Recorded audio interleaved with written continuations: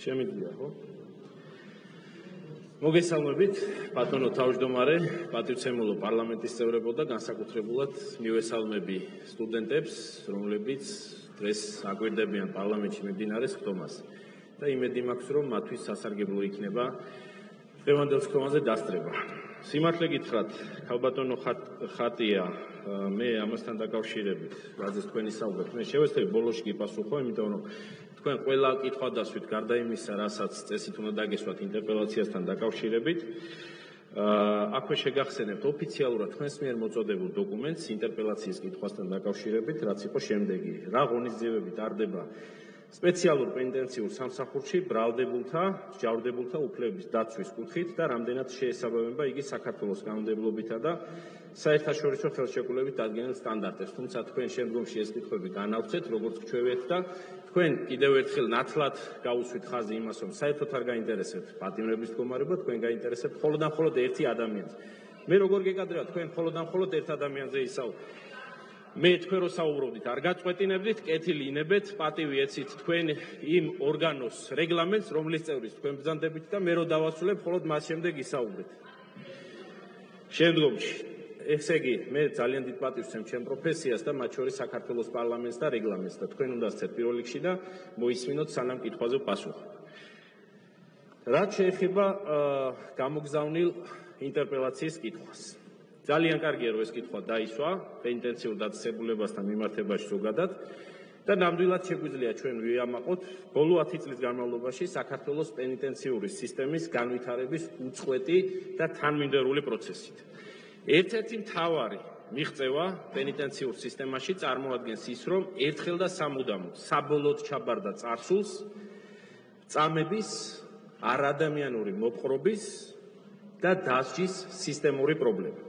აქვე მოკლე ისტორიული ესკურსი ესკურსი ექსკურსისათვის ფაქტობ უნდა შეგახსენოთ ბოდიში უნდა შეგახსენოთ უნდა შეგახსენოთ ფაქტებით გამყარებული ისტორიული ისტორიული ფაქტები შეთქვენ არაფერი გაინტერესებთ. მართალია მაგრამ მე თქვენთვის არ ვსაუბრობ. მე ვესაუბრები მე ვესაუბრები ქართულ ხალხს და არ გესაუბრები თქვენ ამ შემთხვევაში. ხალბატონ ხათია გთხოვთ ადგილიდან მიკროფონი გარშემო მოაწყვეტეთ მაგალითისთვის ქალბატონო ხატია თქვენ მაგდროს ნაციონალურ მოძრაობაში იყავით ჩემგან განსხვავებით და სიპიტის 2010 წლის ანგარიშის თანახმად კომიტეტმა დაასკვნა რომ ნომერ მეშვიდე პენტენციურ დაწესებულებაში პატიმართა მოთავსების კუთხით არსებული პირობები უტოლდებოდა არაადამიანურ და ღირსების შემლახავ მოპყრობას. ასევე სწორედ ამ პერიოდს უკავშირდება საქართველოსი პატიმართა რაოდენობის რეკორდული მაჩვენებელი, რომელმაც გადააჭარბა 2024-24000 უკაცრავად. აქვე ადამიანის უფლებათა ევროპულმა სასამართლომ დაადგინა დარღვევა 95 საქმეზე, რის გამოც შემდგომში სახელმწიფოს ჩვენი მართლობის პერიოდში მოუწია მილიონობით ლარის გადახდა კომპენსაციის სახით. ახლა მოკლედ ვისაუბრებ იმ უფლებრივი მდგომარეობის შესახებ და ასევე მინდა გითხრათ რომ ზათვარ სხვათა შორის ინტო რეგლამენტი ძალიან ცოტა არის ინტერპელაციის დროს რომ სხვა ფორმატშიც მოვიდე და ფართოდ ვისაუბრო ზოგადად პენტენციურ სამსახურში მიმდინარე რეფორმების შესახებ. რაც შეეხება ბრალდებულთა და მსჯავრდებულთა სიცოცხლისა და ჯანმრთელობის დაცვას, დღესდღეობით პენტენციურ დაწესებულებებში გვაქვს 10525 სტანდარტის შესაბამისი ადგილი, სადაც განთავსებულია 9430 მსჯავრდებული და შესაბამისად ყველა სტანდარტი არის დაცული. ასევე ახალი სტანდარტის და სეზონური და ასევე ჯანმრთელობაზე მორგებული, მდგომარეობაზე მორგებული 48 მენიუ იქნა შემუშავებული პატიმრებისთვის. განსაკუთრებული ყურადღება ექცევა სანიტარულ-ჰიგიენური პირობების დაცვას, ყველა დაწესებულებაში მოქმედებს პირველადი ჯანდაცვის დახმარების გუნდები და 2021 წელს მაგალითისთვის სამოქალაქო სექტორის სავატოფროში გადაყვანილი იქნა 5502 პატიმარი. პენტენციურ სისტემაში მოქმედებს ჯანდაცვის მრავალი სახელმწიფო პროგრამა, როგორიც არის მაგალითად ტუბერკულოზის, აივ ინფექციის, შიცის, ცეჰეპატიტის ელიმინაციის სახელმწიფო პროგრამა, მეთადონის ჩანაცვლების, დიაბეტის მართვის, ჰემოდიალიზი და მთელი რიგი სხვა სახელმწიფო პროგრამები და ასევე ხელმისაწვდომია ყველა დაწესებულებაში ფსიქიატრის კონსულტაცია და ამავდროულად ამბულატორული მეთვალყურეობა.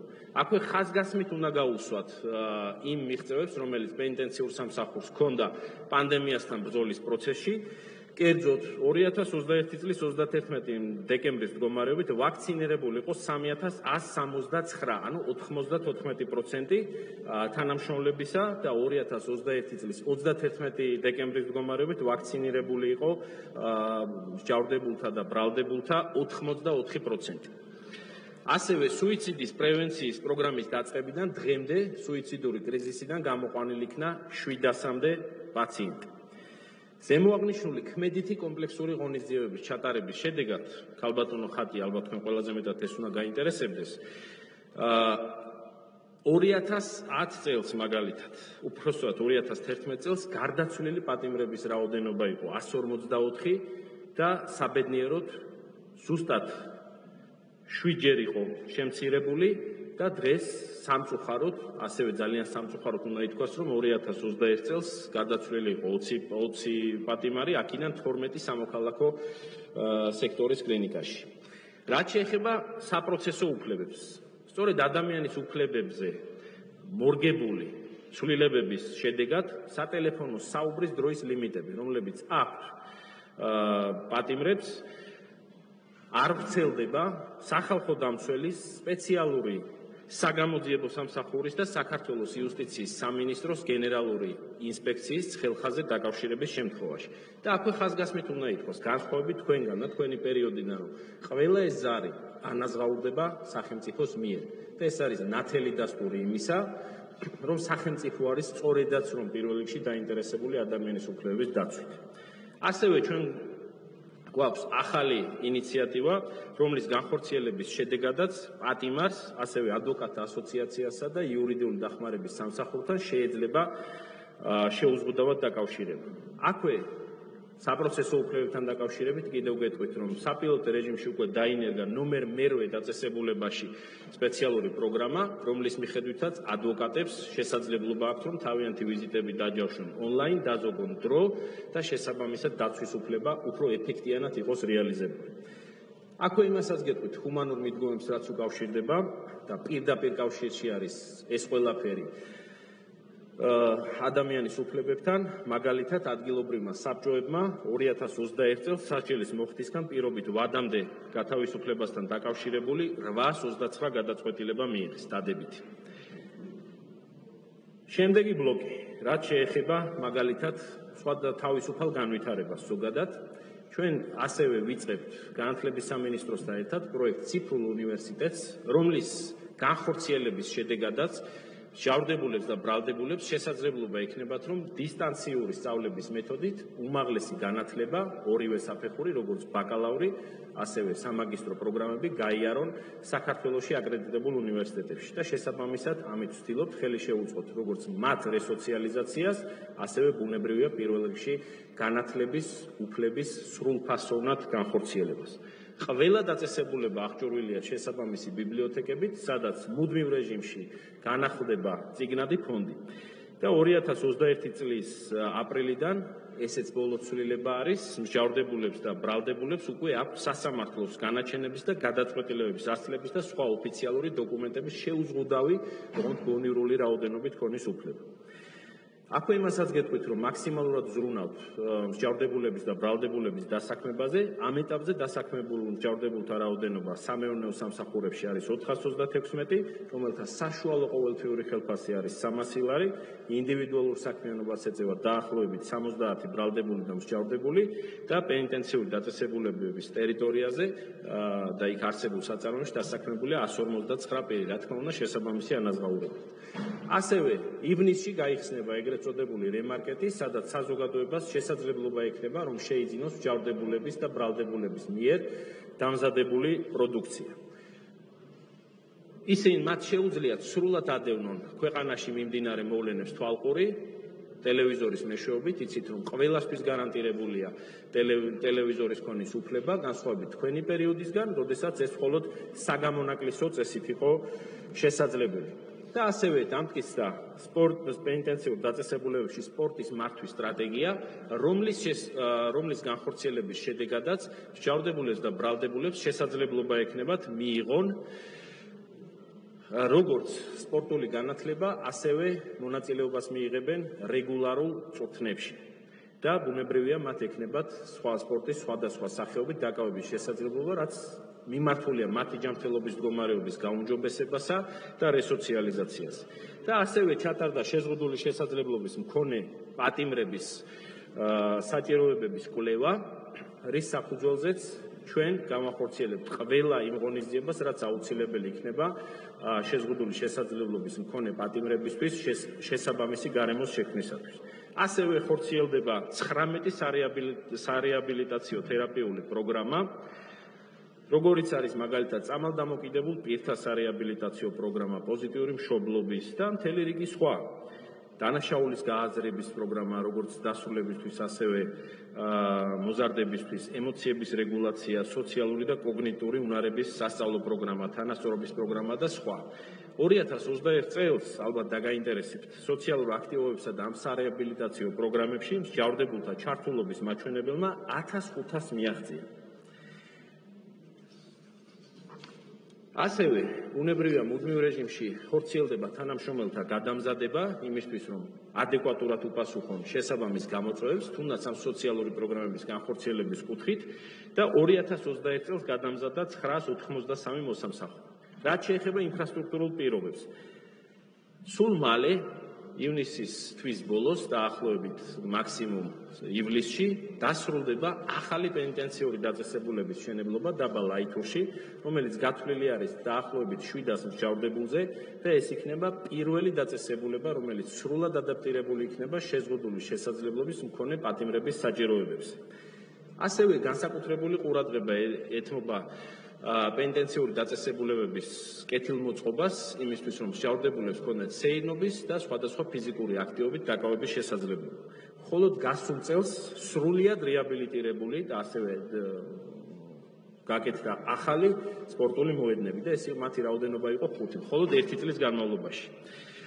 ამავდროულად განსაკუთრებულ ყურადღებას ვუთმობთ პენიტენციური დაწესებულებების თანამშრომელთა მოსასვენებელი სივრცეების ახალი სტანდარტით მოწყობას რომელიც სრულად უზრუნველყოფს მათ საჭიროებებს, ასევე თანამშრომელთა სასადილო სივრცეებს იმისთვის, რომ ჩვენს თანამშრომლებს, რომლებიც 24 საათის განმავლობაში ზრუნავენ, როგორც სასჯელის ეფექტიანი აღსრულების უწყვეტ პროცესზე, ასევე პატიმრების უფლებების დაცვაზე, ჰქონდეთ შექმნილი სახელმწიფოსგან ყველა ღირსეული პირობა.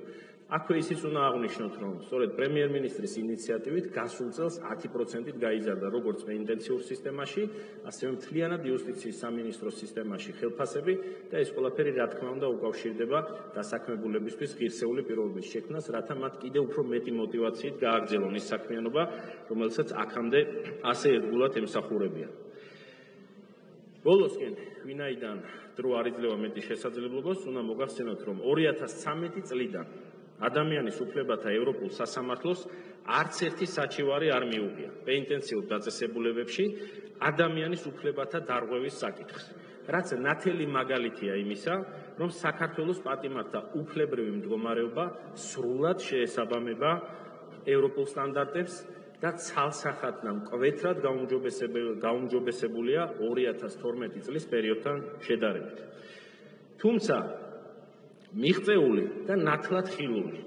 წარმატებისთან მრავალი წარმატების მიუხედავად რომელიც თქვენ ასე არ ქსიამოვნებთ და ვიცი რომ გაწმილებული ხართ იმით რომ არაფერი გაქვთ ხელმოსაჭიდი თამამად უნდა ითქვას რომ ჩვენ ყოველთვის ვეძებთ პრობლემებს სისტემის შიგნით და ძალიან შორს ვართ იმ მოსაზრებისგან რომ ჩვენ იდეალურები ვართ და არაფერი გვაქვს დასახვეწი და დიახ, სწორედ ჩვენი გადაწყვეტილებით დაიწყო მუშაობა პატიმრობის ახალ კოდექსზე, იმ კოდიფიკაციის პროგრამის ფარგლებში, რომელსაც ახორციელებს იუსტიციის სამინისტრო და რისთვის? სწორედ იმისთვის, რომ დავინათლად დავინახოთ ყველა ის ხარვეზი, რომელიც არსებობს და ერთობლივი ძალებით აღმოფხვრათ. თუ რა თქმა უნდა, სურვილი გექნებათ, ნებისმიერს აქ მყოფს ოპოზიციის მხრიდან ბუნებრივია გექნებათ შესაძლებლობა, რომ მიიღოთ ამ პროცესში მონაწილეობა. და აქვე ერთი რამე უნდა ვთქვათ, რომ როგორც იუსტიციის სამინისტრო, ასევე სპეციალური პენიტენციური სამსახური არ დარჩენილა უკრაინაში მიმდინარე პროცესების მიღმა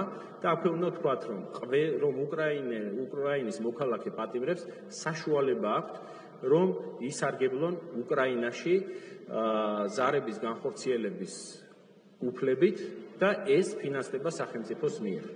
დიდი მადლობა და ზუსტად ჩავეტიე დროში და დანარჩენს ბუნებრივია ბოლო დასკვნითი კითხვისას გიპასუხეთ თუ ბატონი თავმჯდომარე მომცემ შესაძლებლობას რეგლამენტის შესაბამისად ზადვარ თქვენს მიერ დასმულ დამატებით კითხვებსაც უპასუხო ალბათონო ხატია რომელიც ცდება ინტერპელაციის დროს.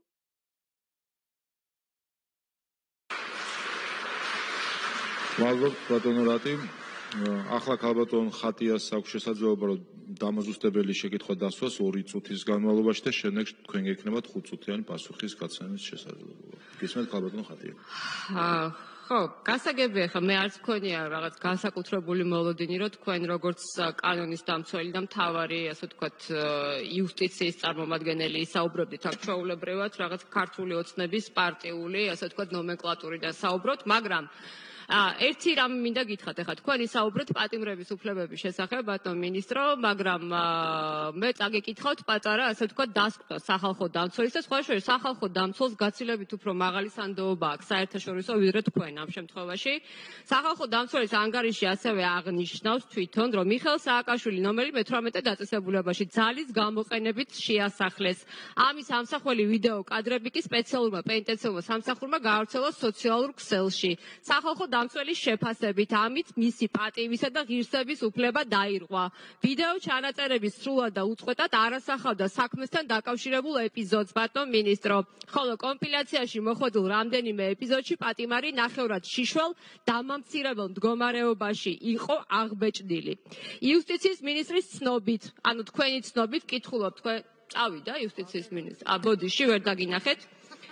მე იქით იქით იქით ასე ვთქვათ გიყურებდით. იუსტიციის ერთი წუთით რა რა არის ხა აქ სასაცილო მე ხვდები იუსტიციის მინისტრის ცნობით. მართლა? ვიდეო ჩანაწერების გავრცელება მიზნად ისახავდა ადვოკატის განცხადებების უარყოფას. ბატონრატი ანუ თქვენ იმიტომ გაავრცელეთ ეს კადრები, რომ თქვენ გინდოდათ რომ გაგებათილებინათ ადვოკატის ასე ვთქვათ განცხადებები და რეალურად ესე იგი რა გამოვიდა რომ ადამიანის მიმართ ჩაიდინეთ ღირსება შემლახავი და დამამცირებელი მოპყრობა.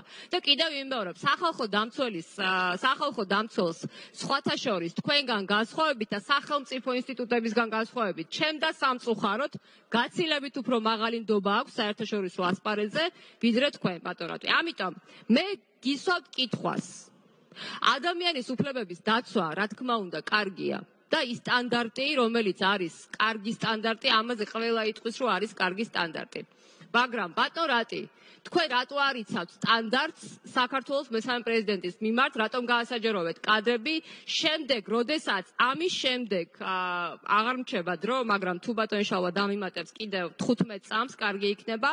როდესაც სახელმწიფო ინსპექტორის მე შემდეგ 7 დეკემბრის დასკვნა დასკვნის საფუძველზე საქართველოს იუსტიციის სამინისტროსა და სპეციალურ პენტენციურ სამსახურს დაევალათ სოციალურ ქსელში ამ კადრების წაშლა. რატომ ბატონ რატო და შემდეგ რატომ გაუქმდა ეს სამსახური ამიტომ ჩემი კითხვა რჩება იგივე. მე მესმის რომ არ გსურთ პასუხის გაცემა მაგრამ სამწუხაროდ ღირსება შემლახავი და დამამცირებელი მოპყრობა. საქართველოს მესამე პრეზიდენტის მიმართ იყო ჩადენილი ზუსტად ასე ვთქვათ მათ შორის აი ჩემი კოლეგები შემდეგ ისაუბრებენ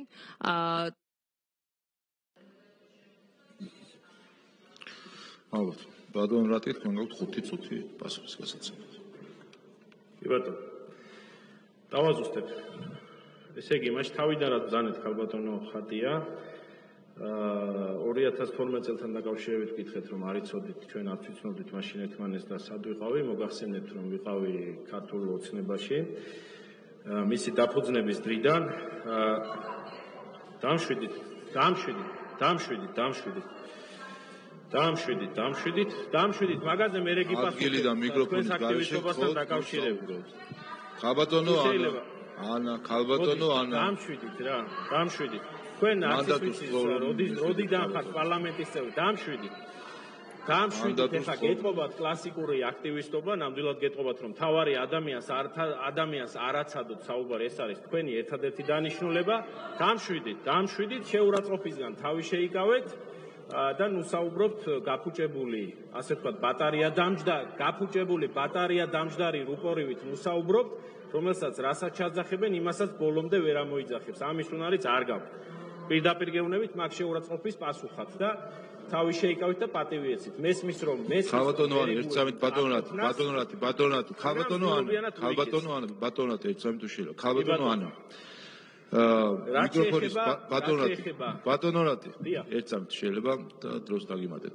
ხალბატონო ანი ერთი მიკროფონის გარეშე საუბარი არ შეიძლება არის რეგლამენტის დარღვევა და თუ გააგრძელებთ მიკროფონის გარეშე საუბარს დაგატოვებინებთ დარბას. მეორე, ის სიტყვა, რომელიც თქვენ ეხლაც იმეორებთ, წევან პრემიერ-მინისტრის გამოსვლის დროსაც იმეორებდით, ეს არის ღირსების შემლახველი ტერმინი.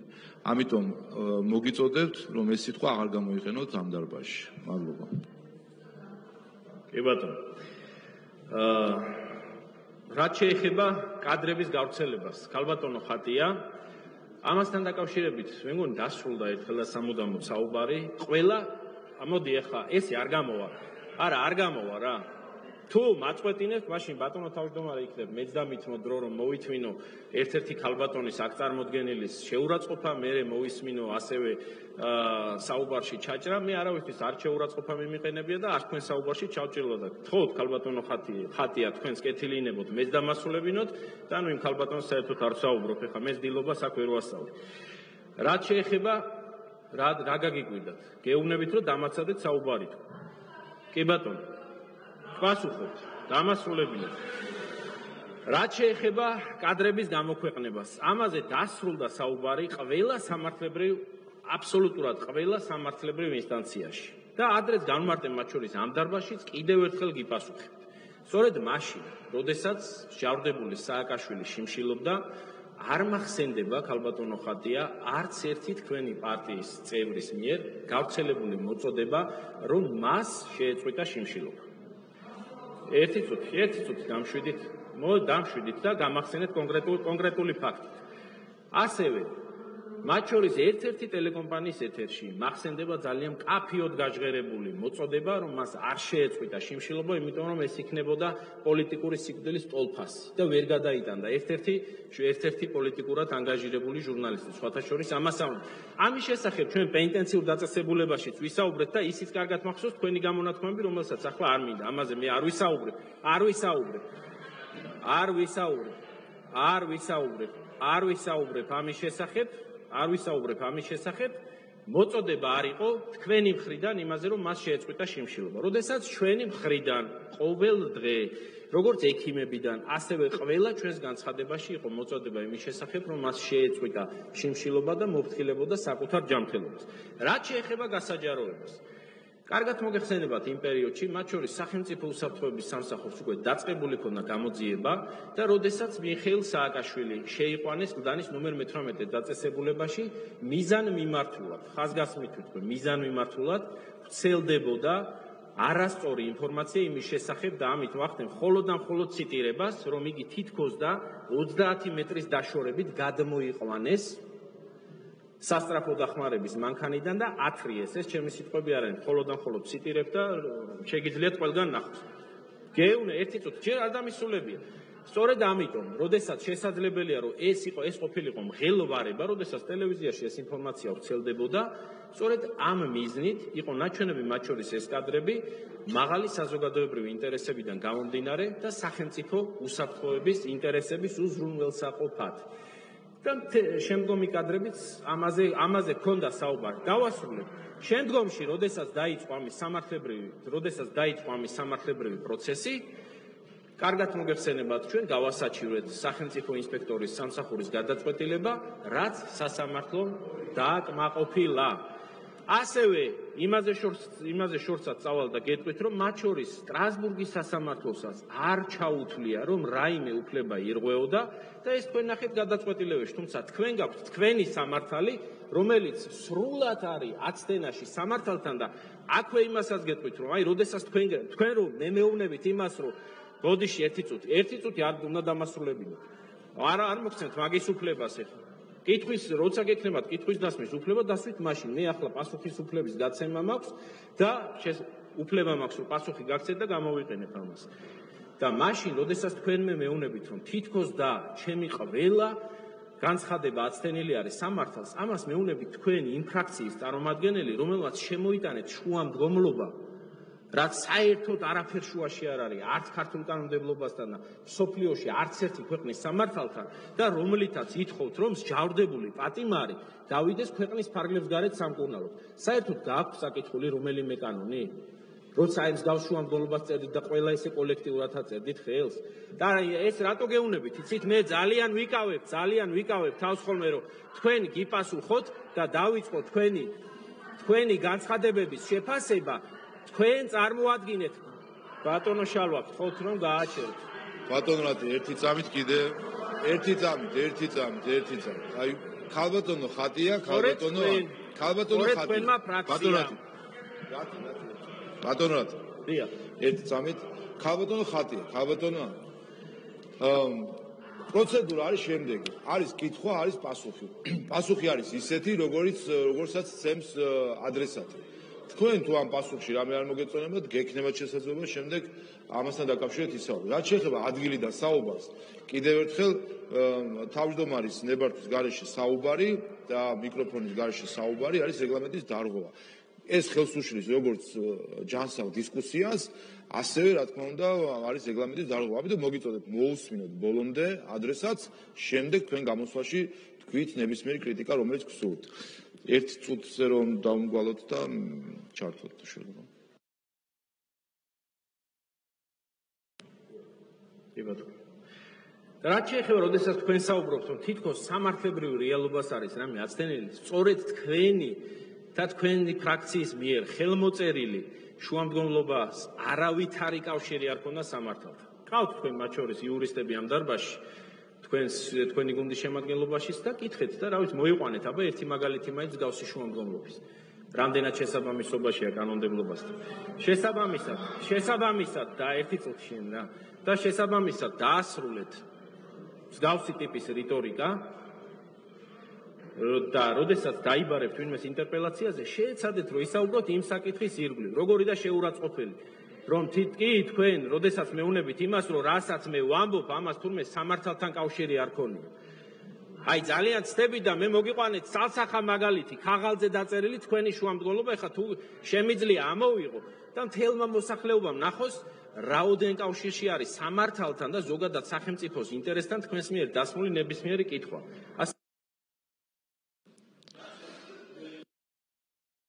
კარგად იმეცადინეთ. მადლობთ, მადლობთ. მაგაზე გიპასუხო, გიპასუხო.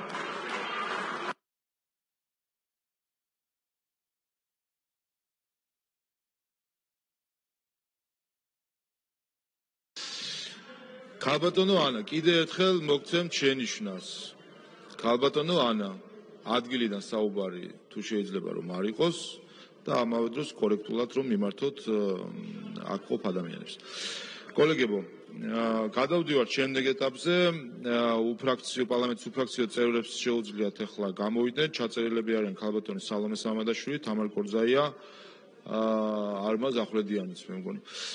სალომე სამადაშვილი ორი წუთი ადგილიდან. მადლობთ. აქ ბატონი მინისტრი საუბრობდა იმაზე, რომ მიხელ სააკაშვილის მიმართ არ გაჟღერებულა გზავნილები, რომ მას შეეწყვიტა შიმშილობა.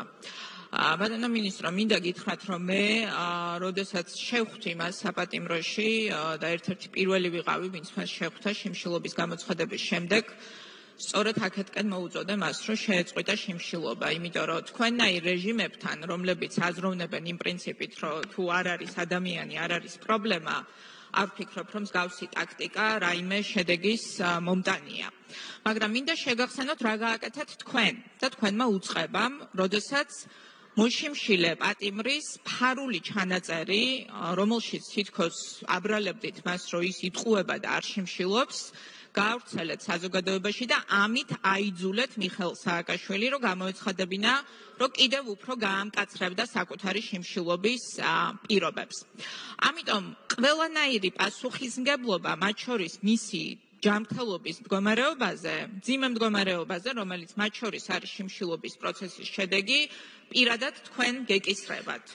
პირადად თქვენ, რომელმაც იკადრეთ და ფაქტიურად ხელფექს შეკრულ ადამიანს შეიძლება ითქვას, რომ ცემეთ ეს ადამიანი, როდესაც გაავრცელეთ მისი ფარული ჩანაწერები.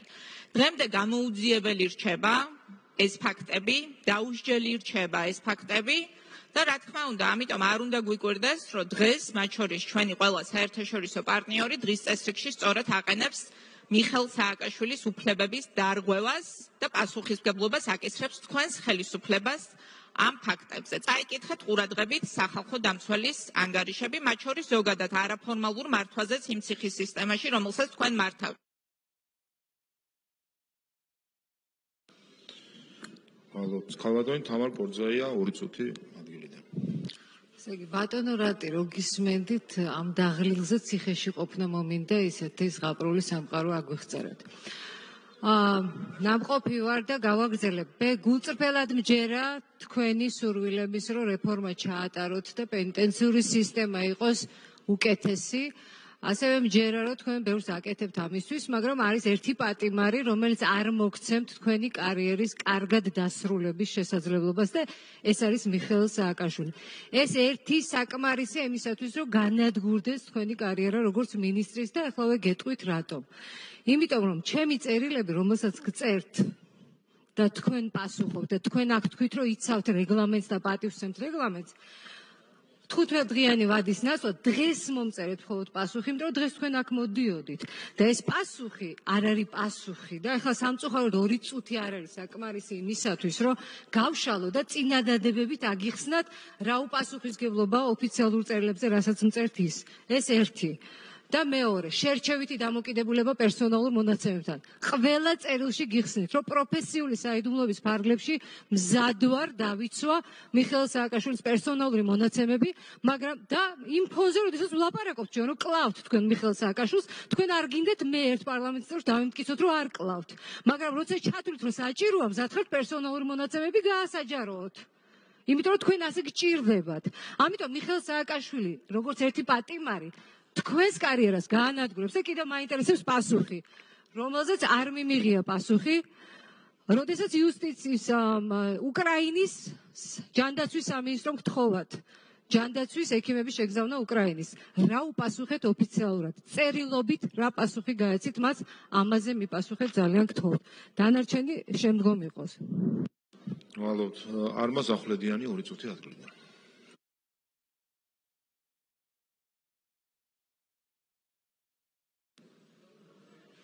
მადლობა. დღევანდელმა სამუშაო დღემ ინტერპელაციაზე მოსულმა სამმა მინისტრმა და ერთმა პრემიერმა, პირველმა მინისტრმა ამ დისკუსიამ მე დამარწმუნა, რომ არამხოლოდ რეგლამენტია შესაძლებელი, არამედ უფრო მნიშვნელოვანი რამ არის შესაძლებელი. შესაძლებელია ის, რომ საპარლამენტო რესპუბლიკაში ბატონო მინისტრო კარგად მესმის მინისტრი პარტიული დღის წესრიგის ქვეშაა მაგრამ როცა პარტიული დღის წესრიგი კანონზე და რაც თავარია სამართლის უზენაესობაზე მაღლა მაშინ დაქცეულია ის საპარლამენტო რესპუბლიკა და ის მთავრობაც. აი თქვენ თქვენი კოლეგა მინისტრები დღეს სხვა დღეებს რომ თავი გავანებოთ. ხოლო დღეს ამ ერთი დღის განმავლობაში თქვენი პასუხებით, თქვენი მსჯელობით ადასტურებთ, რომ მთავრობა სრულად არის პარტიული დღის წესრიგის და არა კანონის და სამართლიანობის დღის წესრიგის ქვეშ. მით უფრო, როდესაც ეს დღის წესრიგი პარტიული არა შიდა პარტიულ დემოკრატიას ექვემდებარება, არამედ ერთი ან ორი ადამიანის ინტერესებს და მისწრაფებებს. აქედან გამომდინარე, არავის არ უნდა გვიკვირდეს, რომ დღეს მესამე პრეზიდენტის უფლებები, როგორც პატიმრის არის ფეხქვეშ გათელილი და ხვალ ნებისმიერი შეიძლება იყოს ასევე ფეხქვეშ გათელილი. მე ვიცი რომ თქვენ ამაზე თუ კეთილს ინებებთ პასუხს მომცემთ ზოგადს სავარაუდოდ გაუგებარს როგორც წინა მინისტრმა გააკეთა ეს 2 საათის წინ მაგრამ იცოდეთ რომ პასუხს ვერსად გაექცევით მადლობთ კოლეგებო პოლიტიკურ ჯგუფებიდან როგორც ჩანს არავის არ გამოუთქვა სურვილი გამოსვლისთვის გადავდივართ ფრაქციებზე ერთიან ნაცნობ მოძრაობის სახელით ქალბატონი ეკა ხერხეულიძე 15 წუთი ტრიბუნიდან.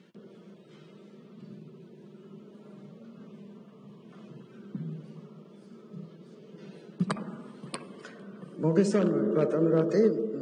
მე კითხვის შინაარსი სხვათა შორის არ ვიცოდი რას თქვენ გამოგეგზავნათ. უბრალოდ პასუხიდან გამომდინარე აა გაუცებული დავჭი როდესაც თქვენს პასუხს უსმენდი იმიტომ რომ სანამ დღეს ამ კომიტეტს წარმოვადგენ რომელსაც წარმოვადგენ ანუ ადამიანის უფლებების კომიტეტს მანამდე ვიყავი წინა ხელისუფლების დროს ადამიანის უფლებების კომიტეტის თავმჯდომარის მოადგილე. ასე რომ ყველაფერი თქვენ რა ჩამოთვალეთ ფოტომასალი შემიძლია განახოთ რომ ჩემ ჩემი თანდასწრებით არის გახსნილი და ცოტა გაუგნებული ვარ. და გეტყვით რა. არა აუცილებლად ეს აუცილებლად უნდა გავარკვიოთ იმიტომ რომ იცით რა ბავშვები გვისვენეთ თორე ხა. აქ არის რამდენიმე სამი ადამიანი ნამდვილად საკეთრიგეში რომელსაც ეგიცის. რასაც მე ვამბობ. ბიბლიოთეკები გაიხსნა ჩვენ ჩვენი ხელისუფლების დროს რომელსაც ახლა თქვენ ასახელებთ. ციხეები სადაც თქვენ დადიხართ და სადაც მე მოსანახულებლად პატიმრების დავდივარ სასიამოვნო კი არ არის ბევრი ციხის გახსნა, მაგრამ გეუბნებით, რომ ის გაიხსნა წინა ხელისუფლების დრო და ფოტომასალა მაგამის. გძელვადია ერთი წუთით რა, ერთი წუთით. ერთი წუთით. დამშვიდით ორი წუთით, რა თუ შეიძლება. ბატონო რატი? სიმშვიდე თუ შეიძლება. თუ შეიძლება ვაცადოთ. გამიბატეთ. თუ შეიძლება ვაცადოთ. თქვენ რასაც ბძანებთ ბატონო რატი რომ მოედნები გახსენით? მაგმოედნების ფოტოებიც რომ აქ რა ვქნა რომ ჩვენ გავხსენით? გძელვადიანი პაემნების სისტემა რო ჩვენ დამრეგეთ რა გავაკეთე ისასტუმროები რო ჩვენ გავხსენით და მე მივიღე მონაწილეობა მაგაში რა ვქნათ ეგ? ბრასლეტით სამაჯურით გაშვება პატიმრობის შემსუბუქება ამითი გადავადება ესეც რომ იმ კომისიის მეშვეობით მოხდა სადაც მე ვიყავი ვადაზე ადრე გათავისუფლების კომისიაში რა გავაკეთო ეგრე იყო ბატონო რატე და შემიძლია ფოტომასალა განახოთ ამის იმიტომ რომ ეგრე იყო. მე არ ვიცი შეიძლება დამატებით რამე გააკეთეთ მაგრამ ნოუ-ჰაუ არ გახლავთ ეს თქვენი. ნამდვილ ხო არ ვიცი შეიძლება რაღაც დაამატეთ მაგრამ გახსნით გაიხსნა წინა ხელისუფლების დროს. მაგრამ მანამდე კიდე მინიმუმ სამ ადამიანმა აქეთა ფლიგელიდან იცის რა იყო ციხე მე ვერ გეტყვი წინაც ხელისუფლების ციხის ყველაფერი კვაყოფილი ვარ ან პრეტენზიები არ მქონია. გადასარევად ვიცი როგორც იყო და რაც ხდებოდა მაგრამ მომისმინეთ ახლა. მანამდე როგორ იყო იცით აქეთა დეპუტაციის წარმომადგენლები ქურდერთან ერთად შედიოდნენ მანქანებით იცით თქვენ საქმის გასარჩევად. აი ეს ციხე იყო. და ის ციხე იყო რომელიც იუსტიციის მინისტრობის დროს ეგრეთ წოდებული გუბერსკი დაანგრია ნიკა გვარამია მინისტრობის დროს რომელიც დღეს ახლა მე-12 დაწესებულებაში ის ასე რა რა იყო და რა გადაკეთდა და რა კეთდებოდა ეგ ვიცი არაჩვეულებრივად. თავისი სკაიპ ქოლებით და ყველაფრით რას დაინერგა? ეს ვიცი ძალიან კარგად. ეს შეიძლება გავაკვიროთ ეს ბავშვები რომლებიც წარმოდგენ რომელსაც წარმოდგენა არ აქვს რა იყო და რა არა.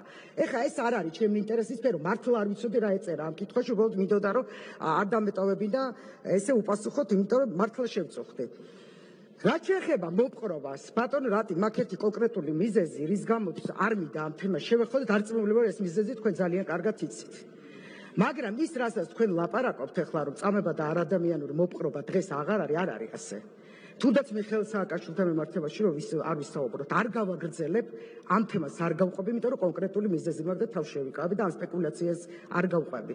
მაგრამ რა შეეხება რა შეეხება მიხეილ სააკაშვილს რომელზეც ახლა თქვენი საუბრეთ კონკრეტულ საკითხებთან დაკავშირებით და რომელსაც მთელი ეს ამდენი თვის განმავლობაში თქვენ უწოდებით ჩეულებრივ პატიმარს მე რატოღაც ექსპორტით გადაკავდეთ გადმოყავდეთ ეს ჩეულებრივი პატიმარი და եպყრობოდით იმდენად დამამცირებლად რომ იუსტიციის მინისტრი რომელსაც სულ არ არის ჩემი სურვილი მივაყენო შეურაცხყოფა აი მოთმინება დამიკარგა დედაცეუდეს თქვით რომ წამებას და არადამე მოპროს აღარ აქვს ადგილი დღევანდელ ციხეებში. აბა რა განხორციელდა მიხეილ სააკაშვილის მიმართ, როდესაც ადამიანი, რომელიც გვანახეთ კადრები, როდესაც თავის ნებით ალაგებს ტანსაცმელს, გამოაქვს თავის ხელით თავისი ნივთები და უცებ აღმოჩნდება არა სამკურნალო დაწესებულებაში, რისი გადაწყვეტილებაც იყო მიღებული, არამედ აღმოჩნდება გლდანში, სადაც ეწყობა განზრახ მომზადებული შუმოკი ყველა ერთად ფანჯარასთან მოდის და აგინებს ადამიანს და სხვათა შორის ეს არის მართლა თქვენი ნოუ-ჰაუ ამ ხელისუფლების, ოდესაც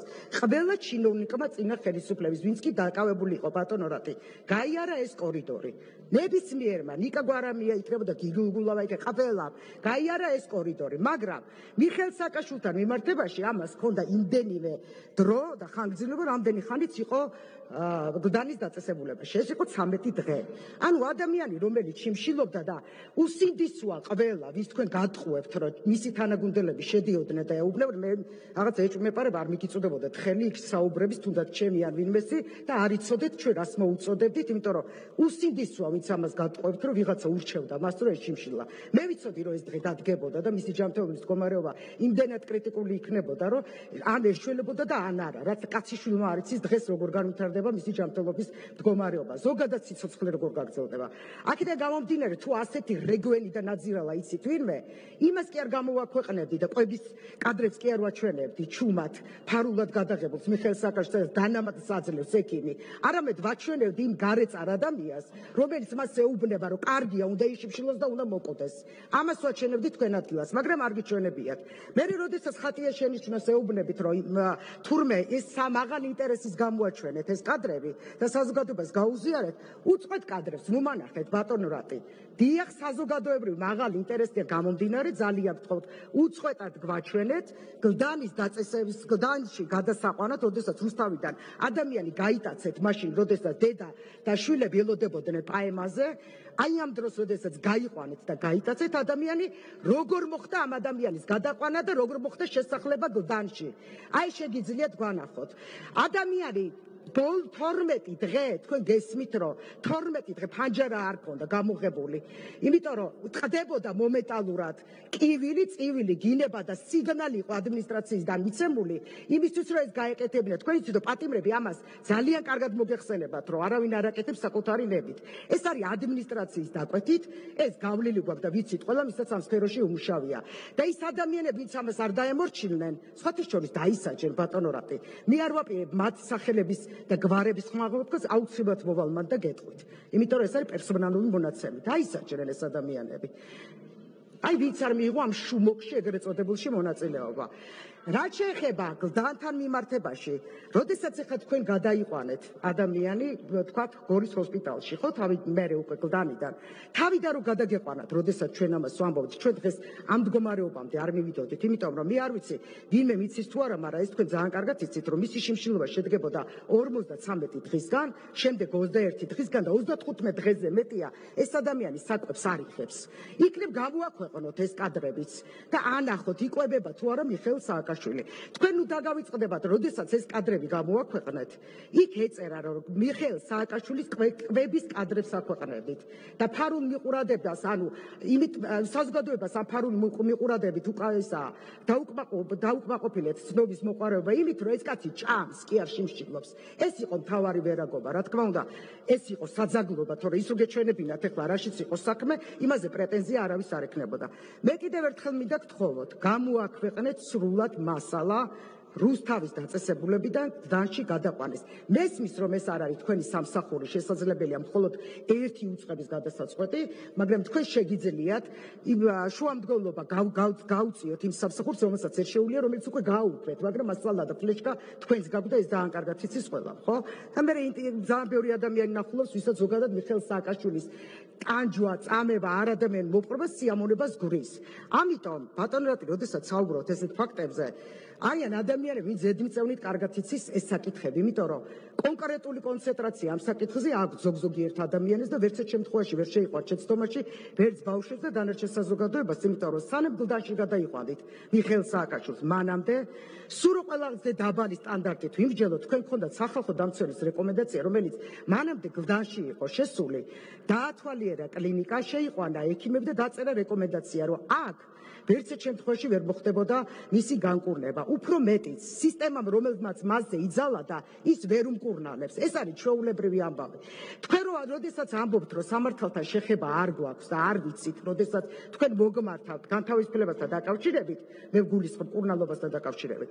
სწორედაც რო ვიცით, ჩვენ გულისხმობთ საჯერის გადავადებას და ამას გულისხმობთ. ამ შემთხვევაში გულისხმობთ აბსოლუტურ განთავისუფლებას, არ გულისხმობთ და სხვათა შორის მე არ სალომე ზურაბიშვილს თქო მის შეწყალებას, იმიტომ რომ ეს არის ჩემი კონკრეტული პოზიცია. ეხლა მე არავინ არ მეკითხება ამის გადაწყვეტას, ადამიანმა თავის ბედი თვითონ უნდა გადაწყვეტოს, მაგრამ ჩემი პოზიცია, ერთი კონკრეტული ადამიანის პოზიცია გახლავთ ეს. და ამიტომ არის ეს პოზიცია სამართლებრივად გამართული, რადგან არსებობს ეს პრაქტიკა და მიხეილ სააკაშვილი პირველი პრეცედენტი ვერცერთ შემთხვევაში ვერ იქნება. იმ გდაში, რომელსაც თქვენ მულტიპროფილური კლინიკა უწოდეთ, როცა გადაიყვანეთ, აი თითოეული აპარატი თავისი სამედიცინო დეპარტამენტის უფროსიანად მართლა ხელით მაქვს შეტანილი პირადად მე და არც არის თქვენი გაკეთებული. მაგის ფოტომასალად შემიძლია რომ გამოგიხსენოთ. ასე რომ ბატონო რატი არ არის ეგ საინტერესო. ქვეყანაში სახელმწიფო მოხელები იმისთვის არსებობენ, რომ ყველამ თავის ფუნქცია შეასრულოს და მე ეს ჩემი კეთილინებით კი არ გამიკეთებია, ვალდებულებით გავაკეთე და ვალდებულება უნდა შეასრულოთ თქვენს. ამიტომ ჩემი პრეტენზია თქვენთან მიმართებაში არის შემდეგი. რაც არ უნდა ეძახოთ მიხელ სააკაშვილს, რომ ის არის ჩვეულებრივი პატიმარი, არ არის ჩვეულებრივი პატიმარი, ის თავისი არსით და ნებისმიერი ქართველის წარმოდგენით საქართველოს მოქალაქით არის არაჩვეულებრივი პატიმარი, იმიტომ რომ თვითონ პრაქტიკა არაჩვეულებრივი და აი ადამიანურ თვისებებზე კი არა მაქვს ლაპარაკი, შემთხვევაზე მაქვს საუბარი. ის არის ორი ვადით არჩეული საქართველოს პრეზიდენტი. ეს იმას ნიშნავს, რომ ჩვენ თვითონ ჩვენს ქვეყანას ვაყენებთ უზარმაზარ შეურაცხყოფას, როდესაც შეგვიძლია ვიღაცის ხუშტურზე გამოვაქვეყნოთ მისი იძულებით გადაყვანი შეურაცხყოფელი კადრები, ნახევარ ჩიშველი გაუშვა თეთერში ის კადრები, სადაც თქვენ რაღაც სიამოვნებას იღებთ ეთყობა არ ვიცი ვიღაც ადამიანები ყოველ შემთხვევაში ამას იღებენ. დიძინა ივანიშვილი ნამდვილად ჩემი შეხედულებით ვერ გეტყვით თქვენ რა სიამოვნებას იღებთ. იმიტომ რომ მის გარეშე ვერაფერსაც ვერ გამოაქვეყნებთ. ამიტომ როდესაც ამას აქვეყნებთ ეს არის უზარმაზარი დარღვა და ჩვენ გვინდა თუ არ გვინდა ამაზე პასუხისგებლობის საკითხი აუცილებლად დადგება. იმიტომ რომ მიხეილ სააკაშვილი არ არის რიგითი პატიმარი რომლის საკითხით შეიძლება დრომ ისე გააქარწყლოს რომ კითხვის ნიშნები აღარ დარჩეს ეხლა დღევანდელ მდგომარეობაზე რო ვისაუბროთ, რა თქმა უნდა სასამართლო გადაწყვეტილებაზეა დამოკიდებული მიხეილ სააკაშვილს გაუშვებეთ თუ არა სამკურნალოდ. ეს მე ძალიან კარგად მესმის, რომ ეს არ არის თქვენი ფუნქცია, მაგრამ თქვენი ფუნქციაა რომ აუცილებლად დამოუკიდებელი ექსპერტიზა, რომელიც დაუშვა სასამართლომ შევიდეს და ელემენტარულად დამოუკიდებელი ან ალტერნატიული დასკვნა დაწეროს, ამ ობიექტური დასკვნა დაწეროს მიჯანმრთელობის მდგომარეობასთან დაკავშირებით, ეს პროცესი არც შემთხვევაში არ უნდა იყოს შეფერხებული, იმიტომ რომ ეს არის სასამართლო გადაწყვეტილება და თქვენ იცით რომ დღესაც ვერ მოხერხა და შესვლა დამოუკიდებელი ექსპერტების. მე გეუბნებით, რომ რაც არ უნდა მასალა გამოაქვეყნოთ, ჩემსა და მიხეილ სააკაშვილის შორის არსებობს ის ნდობის, იმ იმხელა ნდობის ურთიერთობა, რომ ვიცოდე ის იკვებება თუ არ იკვებება და ძალიან კარგად ვიცი რა ვითი იკვებება. თქვენს გადასარევად იცით. იკვებება შემდეგი რამით. ეს არის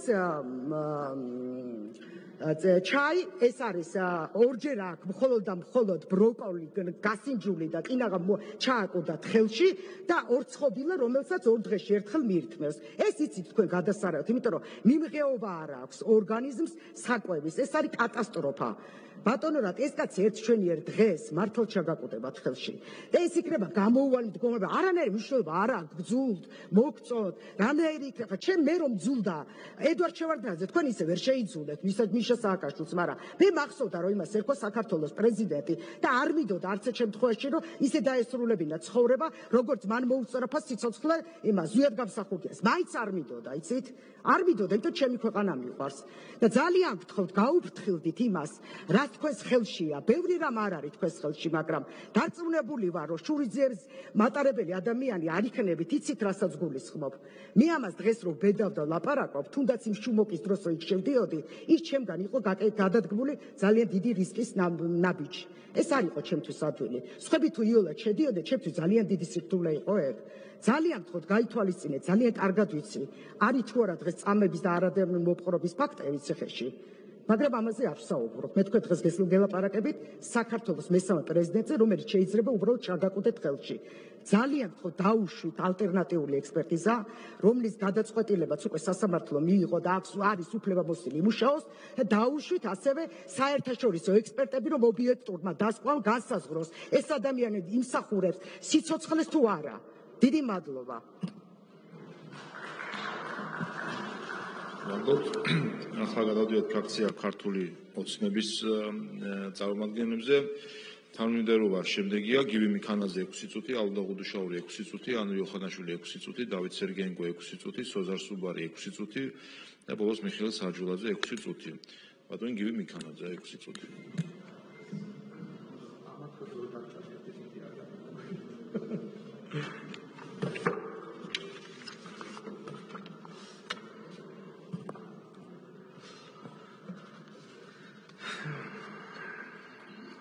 მოგესალმებით ბატონ რატი. მივესალმები თქვენს გუნდს. პირველ რიგში მადლობას მოგახსენებთ ამომწურავი პასუხებისთვის და დეტალური ინფორმაციისთვის. სანამ უშუალოდ კონკრეტულ ფაქტებზე და გარკვეულ სტატისტიკის ანალიზზე გადავიდოდე, პირველ რიგში უნდა გავაკეთო აქცენტი იმაზე, რომ ნაციონალურმა მოძრაობამ, რომელმაც ინტერპელაციის წესით დააყენა საკითხი, აგერ ფაქტის წინაშე დავდექით, რომ თურმე ფრაქციის წევრებსაც არ ცოდნიათ რა კითხვა გაიგზავნა, იმასაც ხედავთ, რომ თქვენს მიერ წოდებული არაჩვეულებრივი პატიმარი, რომელიც რეალურად არაჩვეულებრივი დამნაშავეა პირდაპირ ამ სიტყვის მნიშვნელობით, მისი ბედით თქვენი ფრაქცია დიდად დაინტერესებული არა, იმიტომ რომ მეოთხედიც კი არესტრებით დღეს ამ განხილვებს. იმ საკითხზე, რომლის იმ ადამიანის ბედზე, რომლიდანაც გამომდინარე ეს კითხვები დასვით. აღარაფერს არ ვამბობ მე იმაზე, რომ აა ინტერპელაციის წესით წარმოქმნილი კითხვის ფარგლებში თქვენ აბსოლუტურად არსებითად არაფერს არ შეეხეთ. არანაირი ხელშესახები, კითხვა, არგუმენტაცია, მტკიცებულება არ წარმოგიდგენიათ და მართალია საზოგადოებას, როდესაც თვითონ თქვენი გამოსვლიდან რჩება შთაბეჭდილება იმის თაობაზე, რომ ადგილი აქვს კიდევ მორიგ რაღაც დესტრუქციულ ნაბიჯს, რაღაცის მცდელობას, რომელიც პირდაპირ სპეკულაციებთანაა დაკავშირებული. ახლა რაც შეეხება პირდაპირ უშუალოდ ფაქტებსა და კონკრეტულ ანალიზს, რომელიც დაფუძნებული არის არც არავის თუ არა ყველაზე კომპეტენტური ორგანოს წამების პრევენციის ევროპული კომიტეტის ანგარიშებზე, რომელიც საქართველოსში ვიზიტების ფარგლებში განახორციელა. 2014 წელს კომიტეტი მიესალმა პატიმრების რაოდენობის მნიშვნელოვან შეცირებას. გახსოვთ, რომ 2012 წელს 25000 პატიმარი ფიქსირდებოდა ქართულ პენტენციურ სისტემაში.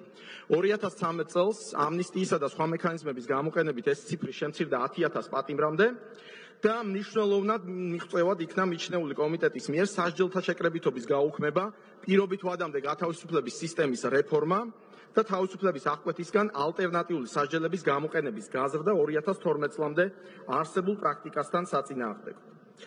სწორი სისხლის სამართლის პოლიტიკის განხორციელებით შესაძლებელი გახდა არამხოლოდ ამ ციფრის შენარჩუნება, არამედ მისი 9000 პატიმრამდე შემცირებაც კი. 2013 წელს პენტენციური სისტემის ჯანდაცვის ბიუჯეტი გაიზარდა 2012 წელთან შედარებით 60%-ით. ხოლო ეს გაზრდილი ბიუჯეტი უკვე 2014 წელს კიდევ 40%-ით გაიზარდა, რის შედეგადაც ერთ პატიმარზე სამედიცინო კუთხით გაწეულმა ხარჯებმა 2014 წელს 2012 წელთან შედარებით 450%-ით მეტი შეადგინა. ამასთანავე 2013 წელს პენტენციური სისტემის ჯანდაცვის პერსონალი 30%-ით გაიზარდა 2012 წელთან შედარებით. რის საფუძველზეც 90 პატიმარზე მოდის ერთი ექიმი და 60 პატიმარზე ერთი ექთანი, რაც სრულ თანხwebdriverშია ევროპის წამყვანი ქვეყნების საუკეთესო პრაქტიკასთან. აქვე უნდა აღინიშნოს, რომ ამ რაოდენობაში არ არის ჩათვლილი ნომერ 18 სამკურნალო დაწესებულების და მაშინ ჯერ კიდევ მოქმედი ნომერ 19 ტუბერკულოზით დაავადებულთა სარეაბილიტაციო დაწესებულების სამედიცინო პერსონალი. კომიტეტის ანგარიში გამოკვეთილად არის ასახული იმ პროგრესის თაობაზე, რაც ხელისუფლების პოლიტიკური ნებითა და გატარებული რეფორმით იქნა მიღწეული პატიმართა შორის ტუბერკულოზის სკრინინგის და მკურნალობის ცეჰეპატიტის ელიმინაციის კუთხით გადადგმულ ნაბიჯებთან დაკავშირებით. აგრეთვე ანგარიში ხაზგასმულია, რომ 2013-14 წლებში პატიმართა ჯანმრთელობის უზრუნველყოფის კუთხით სიტუაცია რადიკალურად გაუმჯობესებულია 2012 წლებთან შედარებით. ევროპის საბჭოს მინისტრთა კომიტეტის მიერ 2014 წლის 12 ნოემბერს დადებითად შეფასდა საქართველოს მთავრობის მიერ გადაწყვეტილებების აღსრულების მიზნით პენტენციურ სისტემაში და კერძოდ პენტენციური ჯანდაცვის სფეროში გატარებული ფუნდამენტური რეფორმები და მინისტრთა კომიტეტის მიერ საბოლოო რეზოლუციის მიღებით დახურულად გამოცხადდა ევროპული სასამართლოს მიერ გამოტანილ გადაწყვეტილებათა ნაწილი, რომლებიც შეეხებოდა პენიტენციურ სისტემაში ჰეპატიტითა და ტუბერკულოზით დაავადებულ პატიმართა მკურნალობის პროცესში გამოვლენილ ნაკლოვანებებს, რაც საქართველოსი სისტემურ პრობლემას წარმოადგენდა. ზემოაღნიშნული გარემოება ადასტურებს, რომ ქვეყანაში გატარებული მნიშვნელოვანი რეფორმების შედეგად ევროპის საბჭოს მინისტრთა კომიტეტმა მიიჩნია, რომ დღეს ჯანდაცვის კუთხით პენიტენციურ სისტემაში გამოწვევები აღარ არის და საქართველოს ეფექტიანად აქვს დანერგილი ჯანდაცვის პროგრამები. აქვე აღსანიშნავია, რომ 2021 წლის ბოლომდე სანამ თქვენს მიერ არაჩვეულებრივად წოდებული მსჯავრდებული სააკაშვილი არ მიმართავდა ადამიანის უფლებათა ევროპულ სასამართლოს, ევროპულ სასამართლოს წარმოებაში არ მიუღია არც ერთი საჩივარი 2012 წლიდან, რაც ეხება პენტენციურ სისტემაში არსებულ საკითხებს. მის საჩივარს კი რა ბედიც ეწია, ყველამ კარგად ვიცით. 2022 წლის თებერვალში ის განსახილველი საქმეების სიიდან ამორიცხეს. მოყვანილი ფაქტები და შეფასებები თავისთავად მეტყველებს თუ რა მდგომარეობაა შექმნილი საქართველოს რეფორმირებულ პენტენციურ სისტემაში. ამიტომ ოპოზიციის ნაწილის მცდელობა დღევანდელი ინტერპელაციით წარმოაჩინოს თითქოს პენტენციურ სისტემაში არ ხდება ადამიანის უფლებების დაცვა და პატიმართათვის სათანადო სერვისების უზრუნველყოფა არის კიდევ ერთი იაფასიანი სპეკულაცია. საზოგადოება ყოველ ნაბიჯზე ხედავს თქვენს დესტრუქციას და ამის საპირისპიროდ ხელისუფლების მხრიდან გადადგმულ სწორ ნაბიჯებს ყველა სფეროში და ყველა მიმართულებით. სწორედ ეს რეფორმები და შედეგები გვიმყარებს იმ ისტორიულ განაცხადს, რომელიც ჯერ ევროკავშირის კანდიდატობას, ხოლო შემდეგ ევროკავშირში სრულუფლებიანი წევრობის წევრობას მოუტანს საქართველოს. მადლობთ ყურადღებისთვის. მადლობა. ავიდა გუდუშაური 6 წუთი.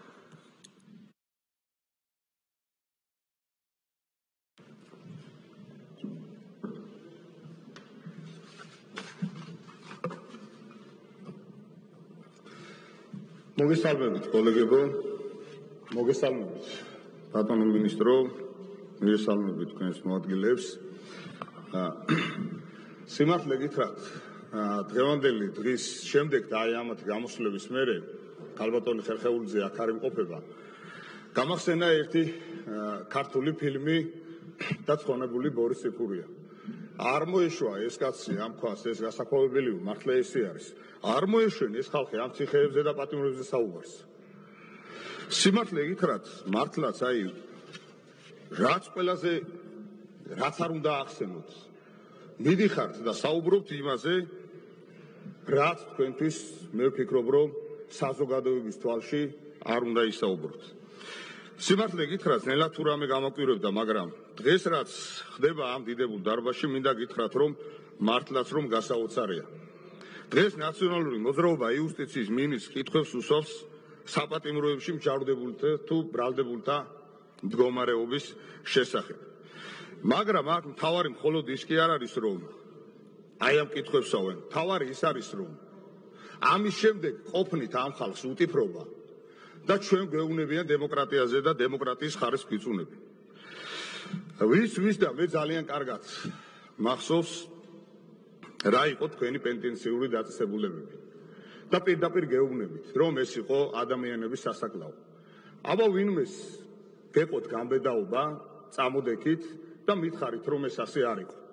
იყო ის რომ როდესაც ადამიანი საპატიმროებში ხდებოდა ვითომ იმ მიზეზით რომ საგეჭი რეჟიმი რეზინი ქონდა პირში გააღებინებდნენ პირს და აფურთხებდნენ პირში. და ამით იმ ადამიანს კი არ აფურთხებდნენ. აფურთხებდნენ მთლიანად ჩვენს ქვეყანას და საზოგადოებას. ადამიანებს ზამთარში ღამე წამოაყენებდნენ და ცივი შხაპის ქვეშ ამყოფებდნენ. ადამიანებს არ ეკინებდნენ ციხიდან თავიანთ ოჯახებში და ეუნებოდნენ რომ დაეთმოთ ბიზნესი, დაეთმოთ წილები, დაეყიდათ სახკარი, ოღონდაც იმ ჯოჯოხეთიდან გამოიყვანა ადამიანები. დიახ, დღეს ეს ყველაფერი არ ხდება და თქვენთვის როგორც ჩანს ეს არის სამწუხარო. ამის შემდეგ ბედავთ და დღეს საუბრობთ იმასთან დაკავშირებით, რომ თითქოს რაღაც უფლებები ირღვევა, ან ვინმეს უფლებები ირღვევა.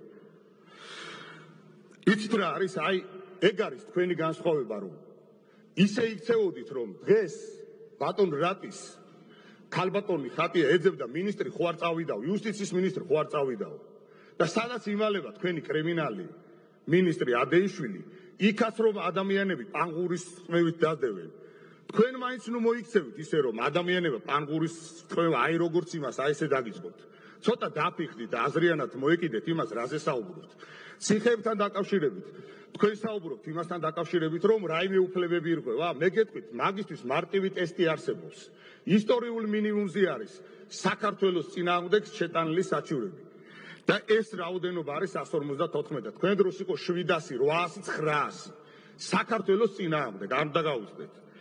ეს მაშინ, როდესაც 2011-2012 წლებში 25000 იყო თითქმის პატიმართა რაოდენობა. და აღარ საუბრობ იმაზე, რომ არც ერთი ჯანმრთელიქიდან არ გამოდიოდა.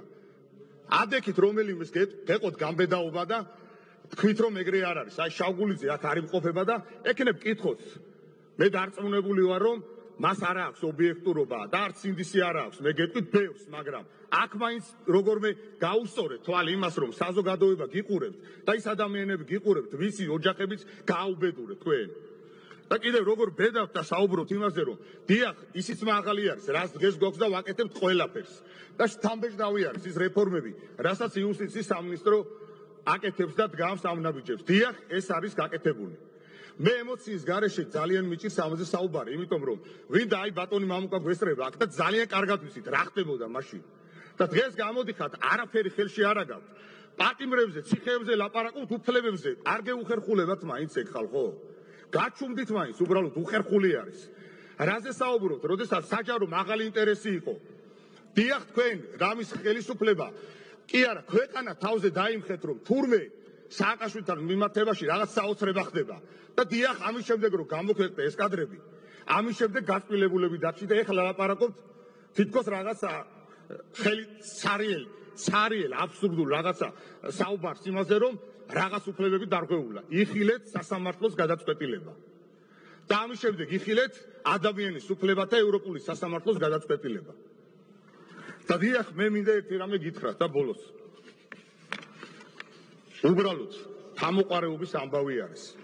და საზოგადოებას მინდა რომ იოტისოდენა პატივი მაინცეთ და ჩვენს ქვეყანას დამერწმუნეთ. აი ის რო დარდის და გარბის პანჩურებს რო ურწავენ, ხო იცით? აი ისე არ მოიქცეთ რომ მართლა ესე პანჩურების წვევით პოლიტიკიდან ხო გაგაგდოთ ხელისუფლებიდან ხო გაგაგდოთ ქართულმა ხალხმა და აი ფიზიკურადაც რომ ასე არ მოგექცეთ აი ესე მაინც დაფეცით რომ არის ხო მადლობთ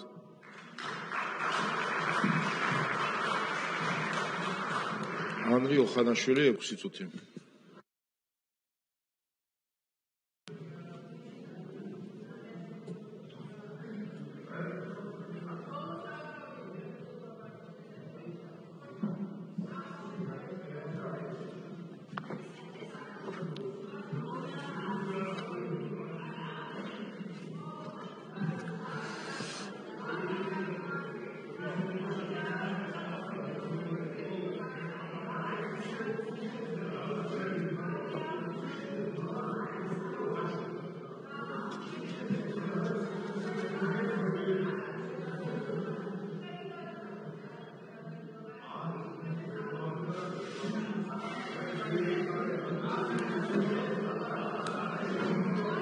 კოლეგებო. კოლეგებო. კოლეგებო.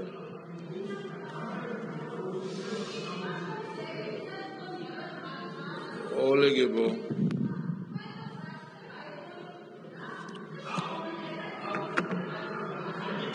კაი კოლეგებო კოლეგებო თუ შეიძლება? კოლეგებო თუ შეიძლება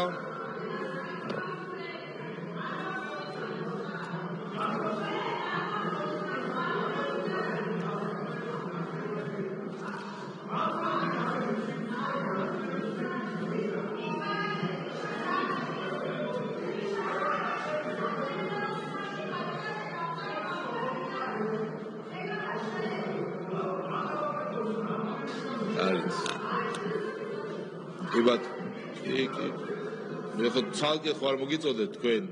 ბატონო მამუკა, გალბატონო ანა, კოლეგებო, ხოთ ხოთ მიკროფონის გარეშე ნუ საუბრობთ. ხაბ ბატონო მამუკა, გალბატონო ხატია.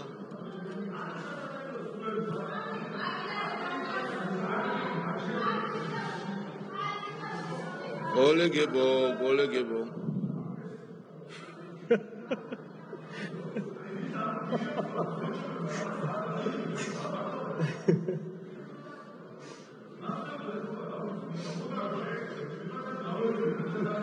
კოლეგები, ბატონო მამუკა, თხოვთ მოусმინოთ ბატონ ანდრის. ბატონო მამუკა.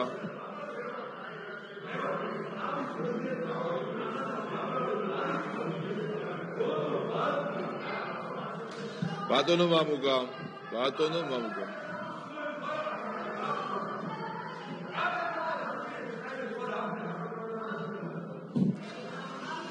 ბატონო მამუკა.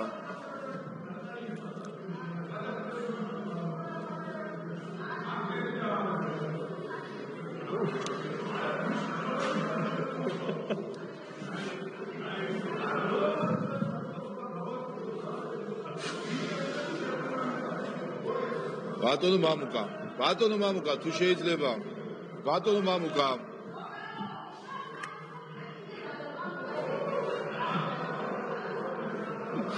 კოლეგებო კოლეგო ბატონო მამუკა. ბატონი მინისტრი გველოდება ჩვენ ინტერპელაციის პროცედურა გვაქვს და არა დებატები ერთმანეთში. ამავე დროს ხალბატონო ანა. თქვენ მოგმართავთ ამ ისტორიასთან დაკავშირებით რასაც თქვენ იმეორებთ ხოლმე. ხო ხდებით რომ რაღაცა როგორც ჩანს არის არასწორი ხომ და ამიტომ არ გვინდა ამის ზედმეტი ბრალდებების. რა ვიცი ამდენჯერაც იყო საუბარი იმდენჯერ ვერ დაასახელეთ არ ვიცი ფაქტი არ გვაქვს. კარგი არ ვიცი მაშინ ერთმანეთთან დაიზისაუბრეთ ამასთან დაკავშირებით კარგით მოკლედ კოლეგებო ხო სიმშვიდეს. აა კოლეგებო ბატონო ლევან ბატონო მამუკა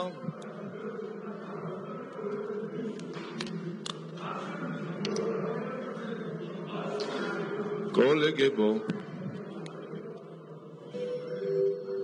კოლეგებო სიმშვიდე ბატონო არნი 6 წუთი გაქვთ გისმენთ და გთხოვთ რომ მოусმინოთ გამოსვლას საღამოშვიდობისა კოლეგებო მივესალმები ბატონ მინისტრს მივესალმები. მის გუნდს ნაციონალური მოძრაობის და რადიკალური ოპოზიციის სახერო დაკარგული იყო. დიდი ხანი ეს ჩვენ ყველამ და ჩვენმა საზოგადოებამ ვიცით და დღეს უკვე წონასწორობაც დაკარგეთ. ასე რომ ბოლომდე მოითმინეთ და მოისმინეთ პასუხები რომელიც გასაგებია რომ არ ქსიამონებთ იმიტომ რომ აქ არის ფაქტები აქ არის სიმართლე და რომ რომელი იყო? ეს ოქრიაშვილი იყო? არ გესმის? ახლოს მოდი გადმოჯექი აქ და უფრო კარგად გაიგე. მოდი. შენი ცინიზმი შეინახე შენთვის. თუ წესიერად რა შეეხება რა შეეხება რა შეეხება ბატონ მინისტრს? მე პირველ რიგში მე მოგიწოდებ თქვენ აი აქ რადიკალური ოპოზიციის ნაციონალური მოძრაობის იმ წარმომადგენლებს რომლებიც ცდილობდით მინისტრის შეურაცხყოფას ცდილობდით იმიტომ რომ ვერ გამოგივათ ეხა რატი ბრიგადის შეურაცხყოფა ვერ გამოგივათ ბოდიში მოიხადეთ მის წინაშე იმ კამპანიისთვის, იმ ბინძური კამპანიისთვის, რომელსაც თქვენ აწარმოებთ თქვენი პარტიული ტელევიზიებით. ამიტომ ჯერ დაიწყეთ ბოდიშის მოხდით და შემდგომ ასევე მადლობა გაქვთ გადასახდელი. მადლობა გაქვთ გადასახდელი იუსტიციის სამინისტროსთვის, როგორც წინა ხელმძღვანელობის, ასევე ამჟამინდელი ხელმძღვანელობისთვის, იმიტომ რომ ეს არის ის ხალხი, რომელმაც სახელმწიფოთა შორის დავაზე ოკუპანტს მოუგო საერთაშორისო ტრიბუნაზე ტრიბუნას ტრიბუნის ფარგლებში დავა. ამიტომ და ამის ხსენება არ გინდათ. იმდენად ხართ თქვენ ვიწრო პარტიულ ინტერესში ჩაკეტილი და იმდენად ვერ აცნობიერებთ რამხელა მნიშვნელობა ქონდა ამას.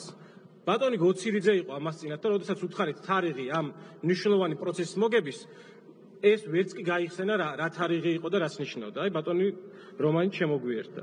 ამიტომ დაიწყეთ ბოდიშის მოხდით იმ კამპანიისთვის, რასაც თქვენ ეწეოდით და ასევე გადაუხადეთ მადლობა.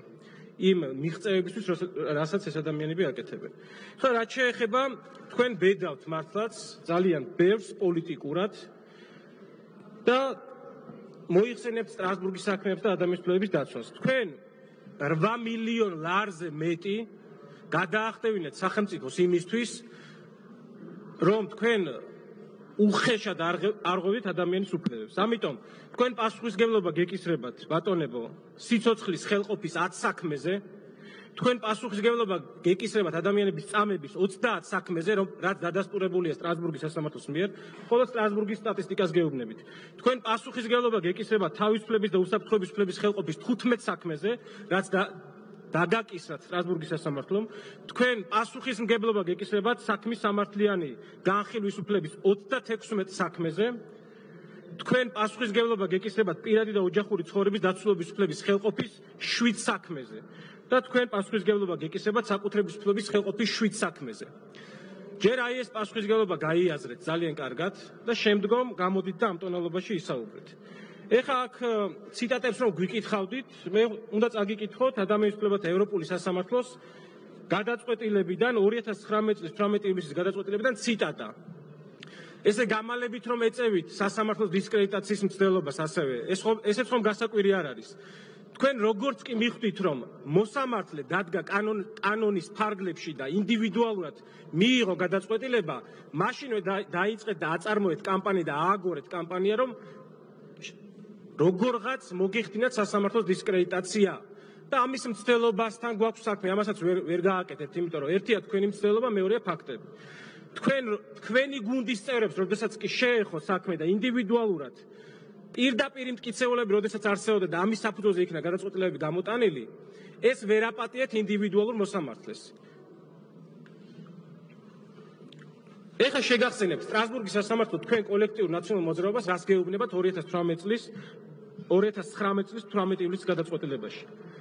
სადაც სხვათა შორის რუსთავიორის საქმეზეა საუბარი და მთელი კამპანია ხომ მქონდათ გაჩაღებული რომ თურმე როგორ დაირღვა მიუკერძოებელი სასამართლოს პრინციპი და ასე შემდგომ ქართულ მართლმსაჯულებაში სადაც ცივი წყალი გადაგასხათ სტრასბურგის სასამართლომ რომ სასამართლო იყო მიუკერძოებელი და სასამართლოს მიერ დაცული იყო კანონის უზენაესობა.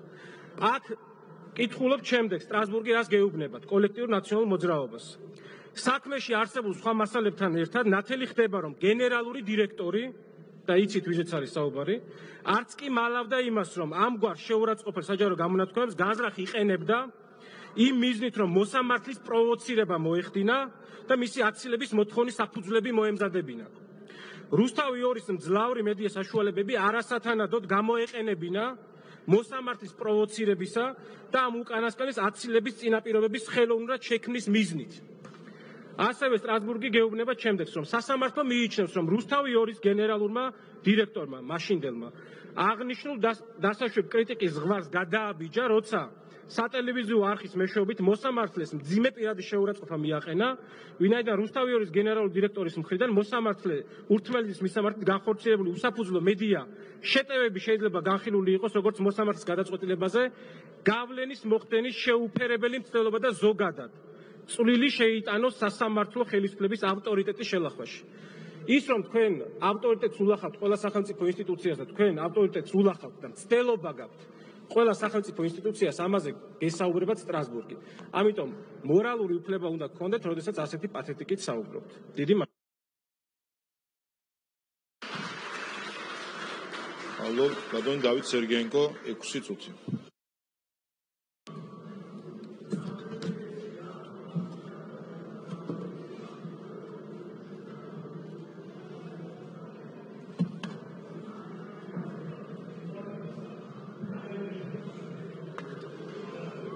მოგესალმებით ბატონო მესტრო საღამშვიდობის კოლეგებო.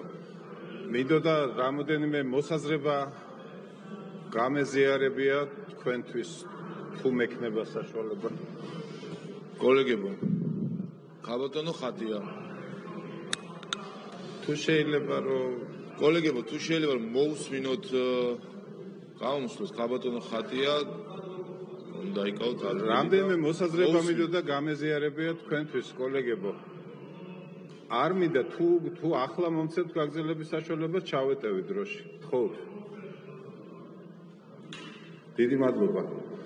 რა მინდოდა მე თქვა რომ შეიძლება ეს დასაწყისი უადგილოდ ჩანდეს მაგრამ მე მნიშვნელოვანი გამოჩნდება რომ სტატისტიკა არის ძალიან თავისებური რამ. აი სტატისტიკა ყოველთვის არ უნდა გამოიყენო მაგალითად არ უნდა გამოიყენო როდესაც ლაპარაკობ ბავშვთა სიღარიბეზე, რომელიც სტატისტიკურად მართალია შემცირდა, მაგრამ სანამ ერთი ბავშვი მაინც არის, რომელიც სრულფასოვნად ვერ იკვებება, ნებისმიერი მთავრობის ღირსების საკითხი არის, რომ ყველაფერი გააკეთოს იმისათვის, რომ ეს აღარ მოხდეს.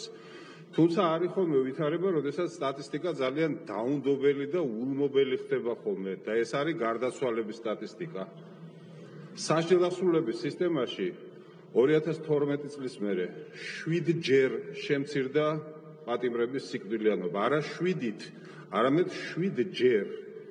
ამას არ დაჭირვებია არც დარგობრივი რაიმე კლინიკური ტექნოლოგიების დანერგვა და არც რაიმე განსაკუთრებული ფინანსური ინტერვენციები. ამას დაჭირდა მხოლოდ და მხოლოდ პოლიტიკური გადაწყვეტილება, რომელიც იქამდე სამწუხაროდ არ იქნა მიღებული.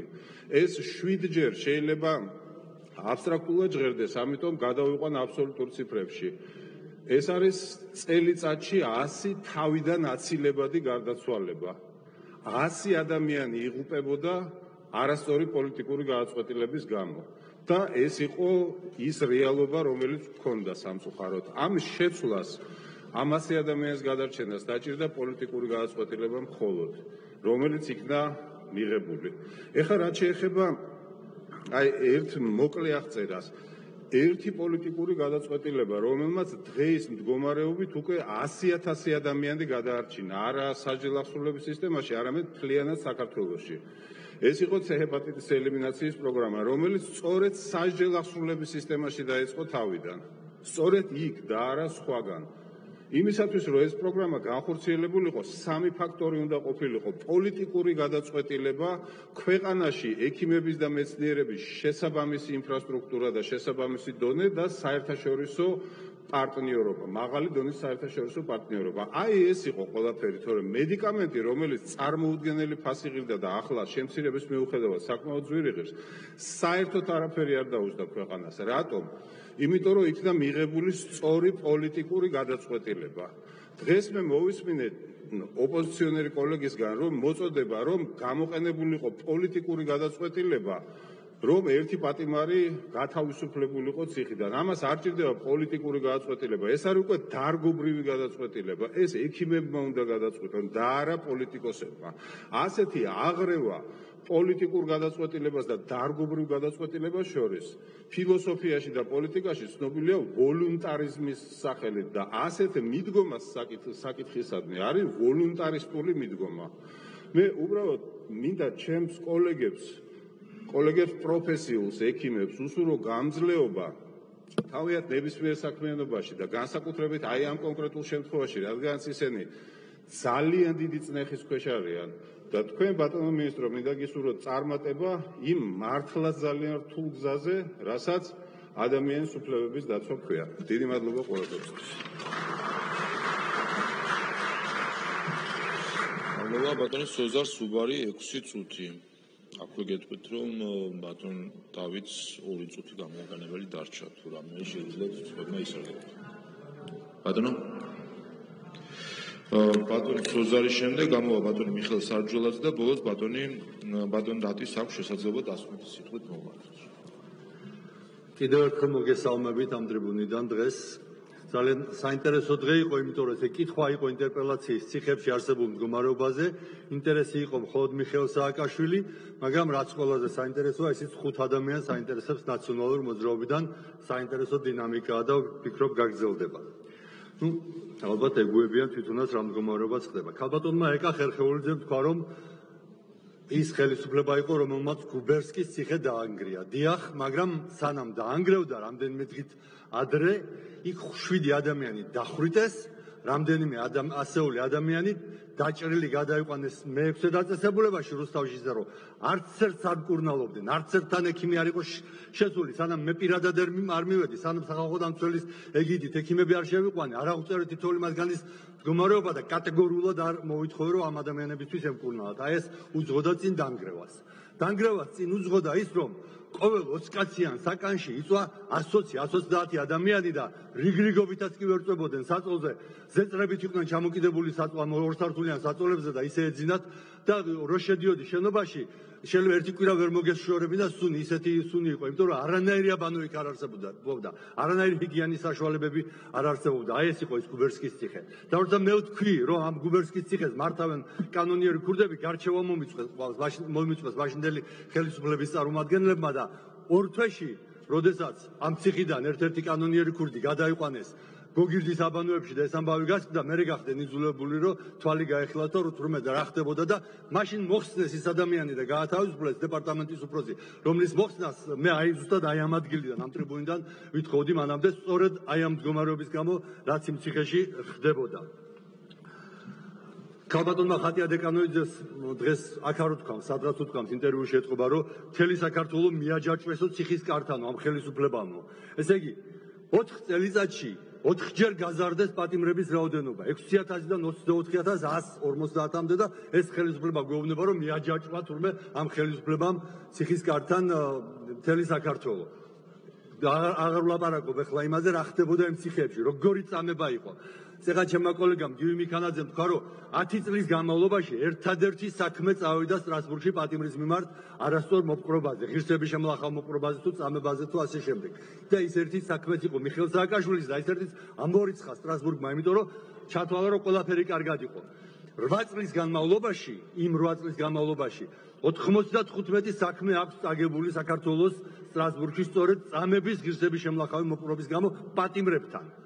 და 6000 საჩივარი არის დაწერილი საერთოდ ღირსების შემლახავ მოპყრობაზე ყველა სტრასბურგში არ არის წასული. 30000 საჩივარი არის იმ წლებში დაწერილი პატიმრებისგან და აქედან 6000 სწორედ ღირსების შემლახავ მოპყრობაზე მე პირადად ყავს აღმოჩენილი მე-6 დაწესებულებაში პატიმრები რომლებიც შიშულები იყვნენ თლიანად აბსოლუტურად შიშულები იყვნენ კარცერში ჩაგდებული და ესენი იყვნენ ზოგი 5 დღე ზოგი 7 დღე ყველაზე მეტი ვინც იყო ეს იყო 10 დღე წავიკითხავ გვარებს უბრალოდ ის ჰარზე ნათქვამი რო არ გამომივიდეს გეგენავა ოვაკიანი მოხსენებაში წერია და ამიტომ შესაძლებელია მათი წაკითხვა. წურწუმია, ბუთხუზი, ქეცბაია სექტემბერში იყო, აღმოვაჩინეთ, გამოვაშვებინეთ, მოვითხოვეთ დასჯა და ოქტომბერში, ოქტომბრის ბოლოს კიდე აღმოვაჩინეთ მეორეს და ეს არ იყო მარტო ღირსების შემლახავი პრობა, ეს იყო წამება კლასიკური, იმიტომ რომ ძალიან მაგრად ციოდა და განსაკუთრებით რუსთავში, სტეპელტებში დიდი სიცივე იცის. დღეს სახალხო დამცველს აქვს რეკომენდაცია დაწერილი იუსტიციის სამინისტროს მიმართ, რომელიც არ იქნა გაზიარებული იუსტიციის სამინისტროს მიერ, რომ როდესაც პატიმრების ხრიკა მიდის, თქვა, სადაც გაშიშვლებას თხოვობს კანონი და თელსოფლიოში ასეა. სრულად კი არ გააშიშვლო და ნაწილ-ნაწილ გააშიშვლო, თქვა, წელს ზემოთ, მერე წელს ქვემოთ და რაღაც ესეთი და აი ეს არის განსხვავება. მაშინდელსა და დღევანდელს შორის. გზელვადიანი პაემნები ქალბატონმა ეკახერხეულიძემ თქვა რომ ჩვენ გავხსენეთ გზელვადიანი პაემნების მანამდე საერთოდ არ იყო. მანამდე სააკაშვილი იყო. სხვათა შორის იუსტიციის მინისტრი რო არ გააკეთეს გზელვადიანი პაემნები მაგრამ დიახ გააკეთეს სამ დაწესებულებაში იყო თუ ოთხში. დანარჩენგან არ იყო და დანარჩენგან ჩვენ გავაკეთეთ მაგრამ იმ სამ და ოთხ დაწესებულებაში როცა შევედით რა აღმოაჩინეთ იცი საწოლი როდგა სადაც სოლქვარი უნდა იწვეს გზელვადიანი პაემნის დროს. მეორე მხარეში დგა საათი კედელზე ჩამოკიდებული და თვითონ ამ საათში ჩამონტაჟებული იყო ვიდეო კამერა. რას უწუ რას უყურებდნენ ერთი და ჩემი აღმოჩენილია და ვიდეოები მაგ გადაღებული ამაზე და ნუ მასწავლით ახლა რაც ხდებოდა რა. ნუ მასწავლით რა ხდებოდა ახლა შიშველი პატიმრები რო აღმოვაჩინა ნუ მასწავლით ახლა ამაზე. სტრასბურგში თითოეული საქმე წასული. გაჩუმდით ახლა და ვიცი რასაც რასაც ლაპარაკობ. 144 ადამიანი რო ყდებოდა. მიზერია ყველა ანგარიში წერია ეს ანგარიში ვერ დავწერდი იმიტომ რომ სახალხო დამცველობის კი არ როცა მინისტრი გავხდი მაშინ აღმოვაჩინე. წერია ამაზე ბრიფინგები მაქვს ჩატარებული, დიახ. ეხლა მასალეთ ლაპარაკი 144 ადამიანი რო გდებოდა წელიწადში ესეც ყუილია ხო? 50% რო ქონდა ცეჰეპატიტი ესეც ყუილია ხო? და აქცერს რო გკურნალობდი სკრინინგი რო ქონდა დაგზაული ესეც ყუილია ხო? აკზაული იყო სკრინინგი და ერთი ადამიანი რომელზეც დაადგინა სტრასბურგმა რომ ამ ადამიანს უმკურნალეთო ის ადამიანი ციხიდან გაუშვეს რომ არ იმკურნალოთ როგორ მე და მოკვდა ადამიანი. აი ეს იყო თქვენი ციხეები და დღეს ციხეებზე ლაპარაკობთ კიდე სამების ადგილად ჰქონდათ გადაქცეული მთელი ციხეები და თითოეული ადამიანი იქ მოყოდრილი ჯამთელი ადამიანი ერთი არ გამოდიოდა. ამიტომ იყო რომ 152 ადამიანი იკვდებოდა წელიწადში და ამიტომ იყო რომ ყოველ მეორე ადამიანს ჰქონდა ჰეპატიტი აი ეგ იყო თქვენი ციხეები და ეს იყო თქვენი მიდგომა და სააკაშულზე რო ილაპარაკეთ წეგან სააკაშულზე მეგეთქვი თელმა საქართველოს ნახა მეგეთქვი რა ნახა თელმა საქართველოს ნახა როგორ დაესხა თავს ციხის თანამშრომლებს როგორ აყენებდა შეურაცხყოფას სიტყვის ფიზიკურს და როგორ დაამწვია და დაამწვია იქაური სამეფო დამჭურულობა. აი ეს ნახა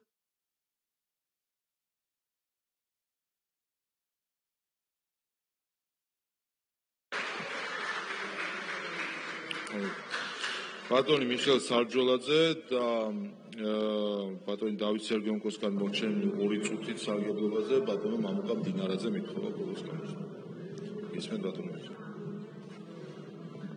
საგამშვიდობის მართლაც ნიშანდობლივია ეს ყველაფერი რაც ხდება, იმიტომ რომ მე მგონია რომ დიდი შეცდომა დაუშვა ნაციონალურ მოძრაობამ აი ბოლო მათ შორის ამ ინტერპელაციის საკითხის შერჩევაზე, იმიტომ რომ რა რა და მართლაც სარკასტულად გამოიყურება უბრალოდ ნაციონალური მოძრაობის მხრიდან ინტერპელაციის მიზნით ministris მოწვევა იუსტიციის სხვა ხელისუფლების სასაუბრო თემაზე პატიმრის უფლებები. ეს მართლა სარკასტულია.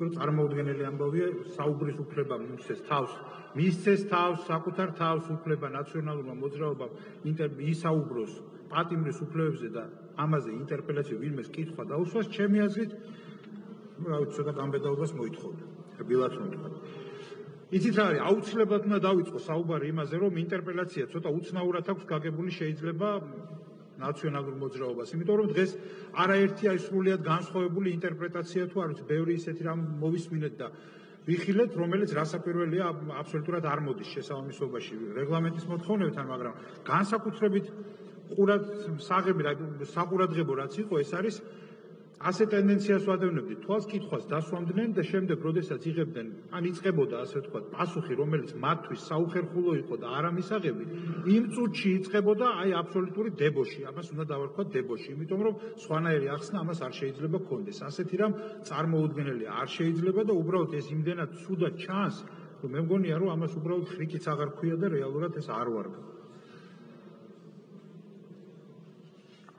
სამწუხაროდ მთავარი დარღვევა რომელიც ახლა ამ მიმართულებით არათავსებადი რაც იყო რეგლამენტთან ეს იყო რომ საკითხი რომელიც იყო ინტერპელაციის საგანი და მე მგონი ამით უნდა ვიყო შეზღუდული იმიტომ არის ასეთი რეგლამენტი გათვალისწინებული. ეს არის კონკრეტული საკითხი უნდა იყოს. იყო ეს კონკრეტული საკითხები და ინიციატორთა მხრიდან ყველაფერზე მოვისმინეთ საუბარი გარდა იმ საკითხისა რაც იყო ინტერპელაციის საგანი. და აქ ქალბატონმა ეკა მაგალითად თქვა რომ უარ ვიცოდი რა იყო ინტერპელაციის საგანიო ხო ესე აღინიშნა. ეს ლოგიკურია მაგრამ ეს არ არის სწორი.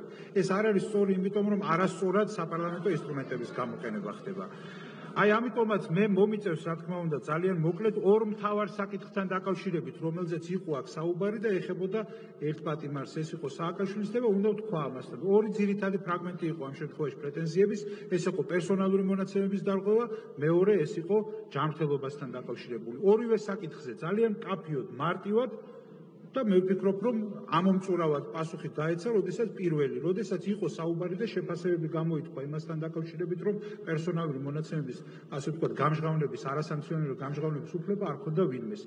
ლეგიტიმურია აბსოლუტურად მაღალი საზოგადოებრივი ინტერესი, რომელიც შეიძლება აძლევდეს უფლებას, ვთქვათ, პერსონალური მონაცემების დამუშავებელს, რომ ეს გაავრცელოს. ეს არის ჩვენი მოქმედი კანონით და არა მხოლოდ კანონით, არამედ საერთაშორისო სამართლებრივი აქტებიც ამას ითვალისწინებს პირდაპირ, ამას თვალი გაუსურვოთ.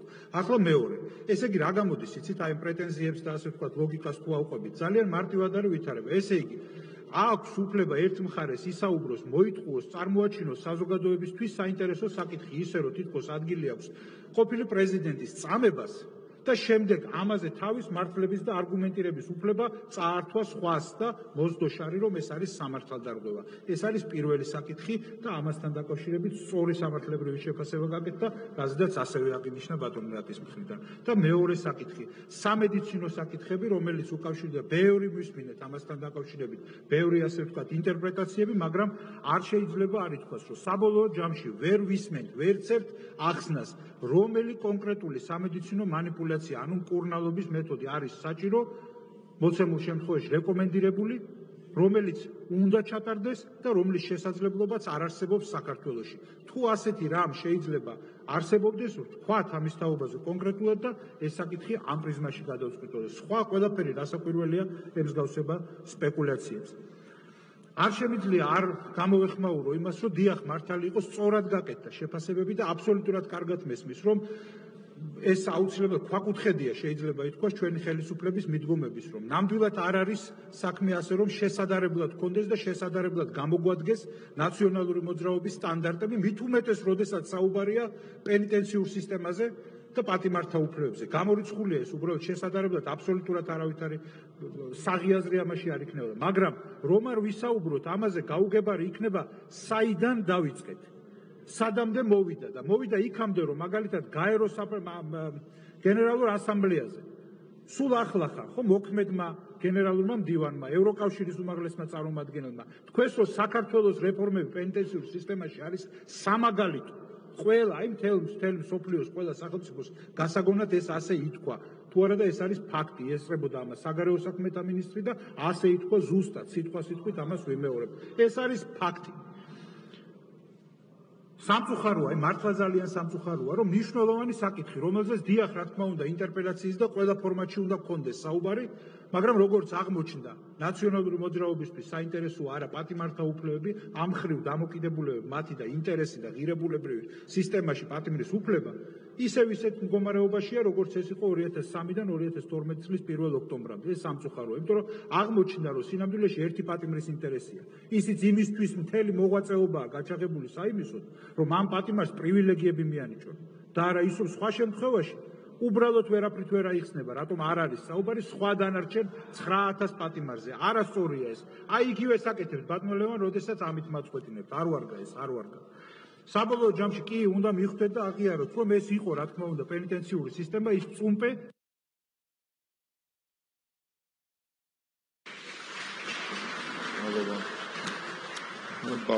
ბატონი მამუკა მდინარაძე 2 წუთი ადგილი.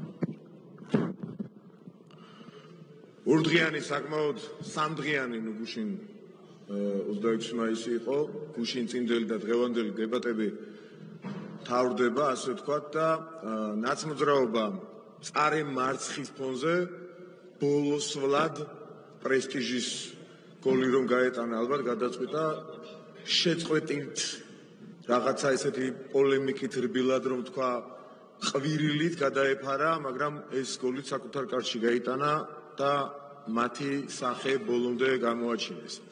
ბატონო მიხეილ სარჯოლაძეს მეუბნები, გეთანხმებით აბსოლუტურად ჩემთვისაც და ყველა ობიექტურად მოფიქრალი ადამიანისათვის. ჩვენ შეიძლება გარკვეულწილად სუბიექტურებიც ვიყოთ, გვეპატიება, მაგრამ ობიექტურად მოფიქრალი ნებისმიერი ადამიანისათვის შეურაცხმყოფელიც კია ადამიანის უფლებების კონტექსში შედარება 2012 წლამდე პერიოდის ბატონი სოზარით ამაზე საუბრობდა და გაცხარებას გონებრივია ამან გამოიწვია უემოციოდ შეუძლებელი ამაზე საუბარი და 2012 წლის შემდეგი პერიოდის. მით უმეტეს და განსაკუთრებით როდესაც პატიმრების უფლებებზეა ლაპარაკი.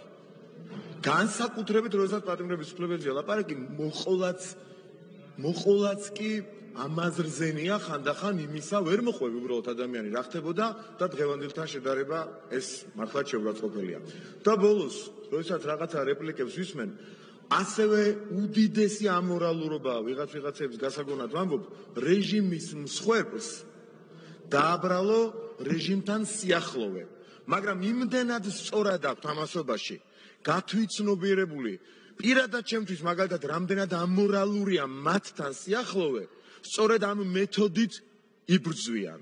მართლაც ამორალურია. პირადად ჩემთვის თქვენთან და თქვენ რეჟიმთან სიახლოვე. და ეს არის თქვენი მტყუილების დაბრალების თავი мотиваცია, მაგრამ სიმართლე იმარჯვებს ყოველთვის და ასე იქნება და ასე არის ამჟამად.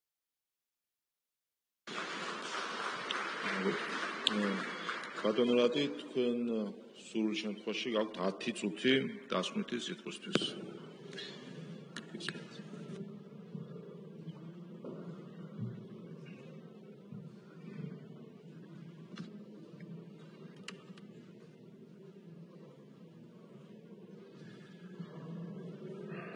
დაუბრუნდები ისევ საწყისებს, რომ გასაგები იყოს რა იყო ინტერპელაციის კითხვა და რას უპასუხეთ. ეს ზოგადად ეხებოდა ადამიანის უფლებებს პენტენციურ დაწესებულებებში და იმ ღონისძიებებს, რომლებიც ტარდება მათი რეალიზაციისთვის. გალბატონო ხატია, თქვენი კი თქვენი ყავით კითხვის ავტორი. თუმცა მე შეიცვალა და არ არის გასაკვირი, რა თქმა უნდა, ანუ ამ კითხვაზე არავის აინტერესებს პასუხი, აქითა ფლანგს გულისხმობ, მაგრამ მე მაინც ვიტყვი, რომ საზოგადოებას კიდევ ერთხელ შევახსენო, რაზე ვისაუბრეთ დღეს. დღეს წარმოგიდგინეთ ყველა იმ უფლებაზე, იმ ძირითად უფლებაზე ინფორმაცია და მის დაცულობაზე, რომლებიც ეხება პატიმრებს. ეს იყო სიცოცხლე და ჯანმრთელობა, საპროცესო უფლებები, პიროვნების თავისუფალი განვითარება, რეაბილიტაციო პროგრამები და ასევე ინფრასტრუქტურული პროექტები. ლოგიკა იყო შემდეგი: აღწერეთ არსებული სიტუაცია, მოგეცით სტატისტიკური მონაცემები მოკლედ, რასაც ეს 15 წუთი იძლეოდა შესაძლებლობას და ასევე გაგაცანით ახალი ინიციატივები, ისეთი როგორიც არის ციფრული უნივერსიტეტი, სპორტის ახალი სტრატეგია და სხვა. ასევე შევახსენეთ საზოგადოებას და შეგახსენეთ თქვენს, მათ შორის ისტორია, როდესაც წამება იყო სისტემური პრობლემა, ასევე მოგიყვანეთ შედარებისთვის კონკრეტული რიცხვები, რაც გარდაცვლილებს შეეხებოდა 2011 წელს ყავდათ 140 გარდაცვლილი თქვენს მიერ მართულ სისტემაში და სამწუხაროდ 2021 წელს არის არის 20, თუმცა აქინა 12 იყო სამოქალაქო კლინიკებში. და ასევე 95 დარღვევა დაადგინა სასამართლომ. კიდევ ერთხელ შეგახსენეთ თქვენს თქვენი მართლობის დროს ადამიანის უფლებათა ევროპულ სასამართლოს გულისხმობ და სახელმწიფოს მილიონობით ლარის გადახდა მოუწი ამის კომპენსაციისთვის. და 2013 წლიდან დღემდე არც ერთი საჩივარი არ მიუღია წარმოებაში ადამიანის უფლებათა ევროპულ სასამართლოს. ეს იყო ჩემი მოხსენება. ბატონი არმაზი ტრადიციისამებრ არ ესწრება, ალბათ არასოდეს არ აინტერესებს ამ ადამიანს კითხვაზე პასუხის მოსმენა, მას მრავალი პოლიტიკური დროშა ჰქონია და შემონახული აქვს ალბათ და არ ვიცი ახლა სად გადასასვლელად ემზადება, მაგრამ კარგი იქნებოდა რომ აქ ყოფილიყო ბატონი არმაზი და მოესმინა. მის მიერ დასმულ კითხვაზე, როდესაც ამბობს, რომ თითქოს მთავრობა მხოლოდ პარტიული დღის წესრიგით მოქმედებს. თუ ის გაეცნობოდა სამწუხაროა რომ აქ არ არის აა ნათლად ჩანს როგორც ჩემს საკუთარ ამორჩეულს პატივს და თუ იგი გაეცნობოდა ჩემს მოხსენებას, მაშინ ამ კითხვას არ დასვამდა, რომ კითხვაზე პასუხი თურმე ყოფილა პარტიული დღის წესრიგი. გასაგებია. მეორე ხალბატონო თამარ, უნებრივია ვერ მოვასწრებ ყველა თქვენს კითხვაზე პასუხის გაცემას და არც ითვალისწინებს ინტერპელაცია შემიძლია შეგხვდეთ კიდეც და სიამოვნებით ნებისმიერ საკითხზე ვისაუბროთ თქვენს მიერ დასმულ სადეპუტატო კითხვებთან დაკავშირებით.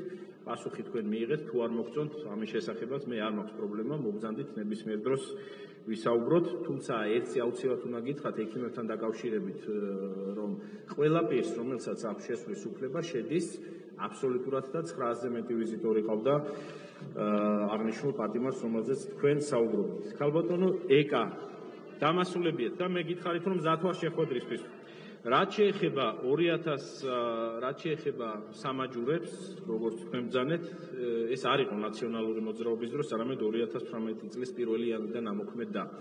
გაიცანით არა, გოდიში. აი მოგაწვდიან ინფორმაციას შესაბამის, ასევე, როდესაც თქვენ მოგაწოდებენ. ასევე, როდესაც თქვენ საუბრობდით ეგრეთ წოდებულ შუმოგზე და ჩემი თხოვნა იქნება, რომ ნუ გამოიყენებთ ამ რუსულ ტერმინებს, ქართულად გადაძახილი ქვია. ყველა ის პირი, რომელიც ამაში მონაწილეობდა, 31 პირი იყო, დაეკისრა დისციპლინური პასუხისგებლობა და ამის შესახებაც ბუნებრივია შეგვიძლია მოგაწოდოთ ინფორმაცია, როდესაც ასე ხელაღებით გვიმტკიცებთ, რომ თითქოს და ეს იყო ხელისუფლებისგან მართული. და რაც შეეხება არაჩვეულებრივ პატიმარს, ჩვენ არ ყავს არაჩვეულებრივი პატიმრები, მე მესმის თქვენი სუბიექტური დამოკიდებულება თქვენი მეგობრის მიმართ, მაგრამ ჩვენთვის ყველა პატიმარი არის კანონის წინაშე თანასწორი და საერთოდ ყველა ადამიანი. და მიდგომა ბუნებრივია ყველას მიმართ იქნება ყოველთვის თანაბარი.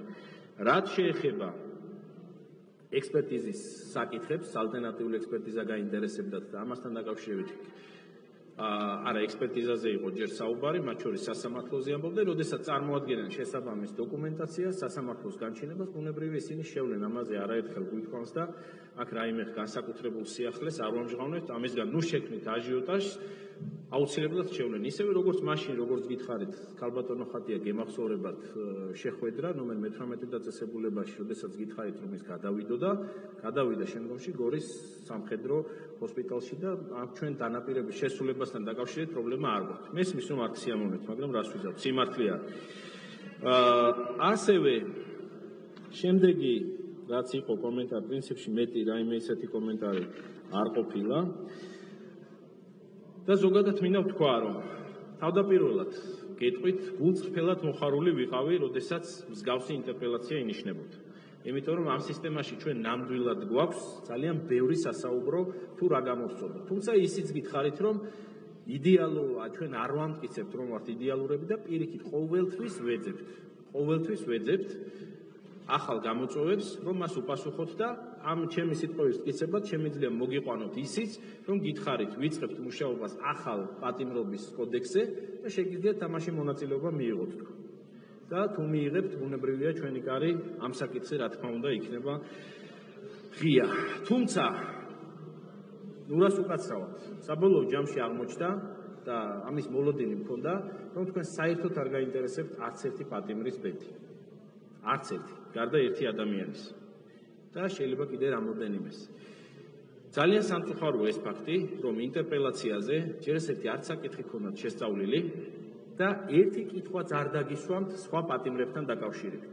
ჩვენ ახლა გვიყურეს ბევრი ადამიანი და მათ შორის პატიმრები რომლებიც პენტენციურ დაწესებულებაში ტელევიზორის საშუალებით ადონებენ თვალყურს დღევანდელ სხდომას და მე გულწრფელად წუხვარ რომ მათ შესახებ სწორედ თქვენ შეეცადეთ რომ არ გვესაუბრა და მათ არ გაიგოთ თუნდაც ის მიმდინარე რეფორმები, რომლებიც ხორციელდება. თუმცა ამ ადამიანებმა თქვენზე ბევრად კარგად იციან ის სიტუაცია და მე ვფიქრობ თქვენ შეგიძლიათ მათ შორის თქვენი სადეპუტატო უფლებამოსილება იმაშიც გამოიყენოთ რომ როდესმე სხვა ადამიანებიც მოინახულოთ ან ზოგადად ციხეში არსებულ სიტუაციას გაეცნოთ. აქვე თალბატონო ეკა როცა თქვენ საუბრობდით ძალიან კარგი ინფრასტრუქტურის მდგომარეობაზე, თხოვე და მოგვაწოდეს სურათები და ამას გადმოგცემთ, ეხლა როგორც კი დავასრულებ, რომ თქვენც ძალიან კარგად გაიხსენოთ თუ რა მდგომარეობაში იყო და სხვათა შორის აი ამ კონკრეტულ საკანში დაახლოებით 30-მდე ადამიანი იყო ხოლმე. ბათუმ ბათუმ სკოლის. მე და როცა გაგიხარდებათ გამომიგზავნოთ მე აქვე გადმოგცემთ ოპერატიულად ოპერატიულად მოგაწოდებთ ეხა მეორე მეორე და ბუნებრივია რადგანაც თქვენ ეს პოლიტიკურ ელფერში წაიყვანეთ არ შემიძლია ასევე პოლიტიკურ ელფერში არ გიპასუხოთ. რასაც თქვენ აკეთებთ. თქვენ ფრაქციას გულისხმობთ ამ შემთხვევაში რა თქმა უნდა. იგივე გაიხსენეთ სამწუხაროდ აი სტოლდენბერგის ეპიზოდი, როდესაც დაიწყეთ საუბარი იმის შესახებ, რომ თითქოს და პრემიერ-მინისტრი არ ხდებოდა. რამხელა აჟიოტაჟი იყო. აქ არესწრება ერთი თქვენი წარმომადგენელი, ერთ-ერთი დეპუტატი, რომელიც, არ ვიცი, აი სიხარულისგან მოსთქვამდა და ბედნიერ ბედნიერებას ვეღარ მალავდა, რომ თითქოს და სტოლდენბერგი ბატონ პრემიერ-მინისტრს არ ხდებოდა და რა ბედნიერი იყავით ამ ფაქტით. მაგრამ კოლზი აბსოლუტურად ნაცარს ჩაგივარდ. რა რა შუაში აქვს პასუხი?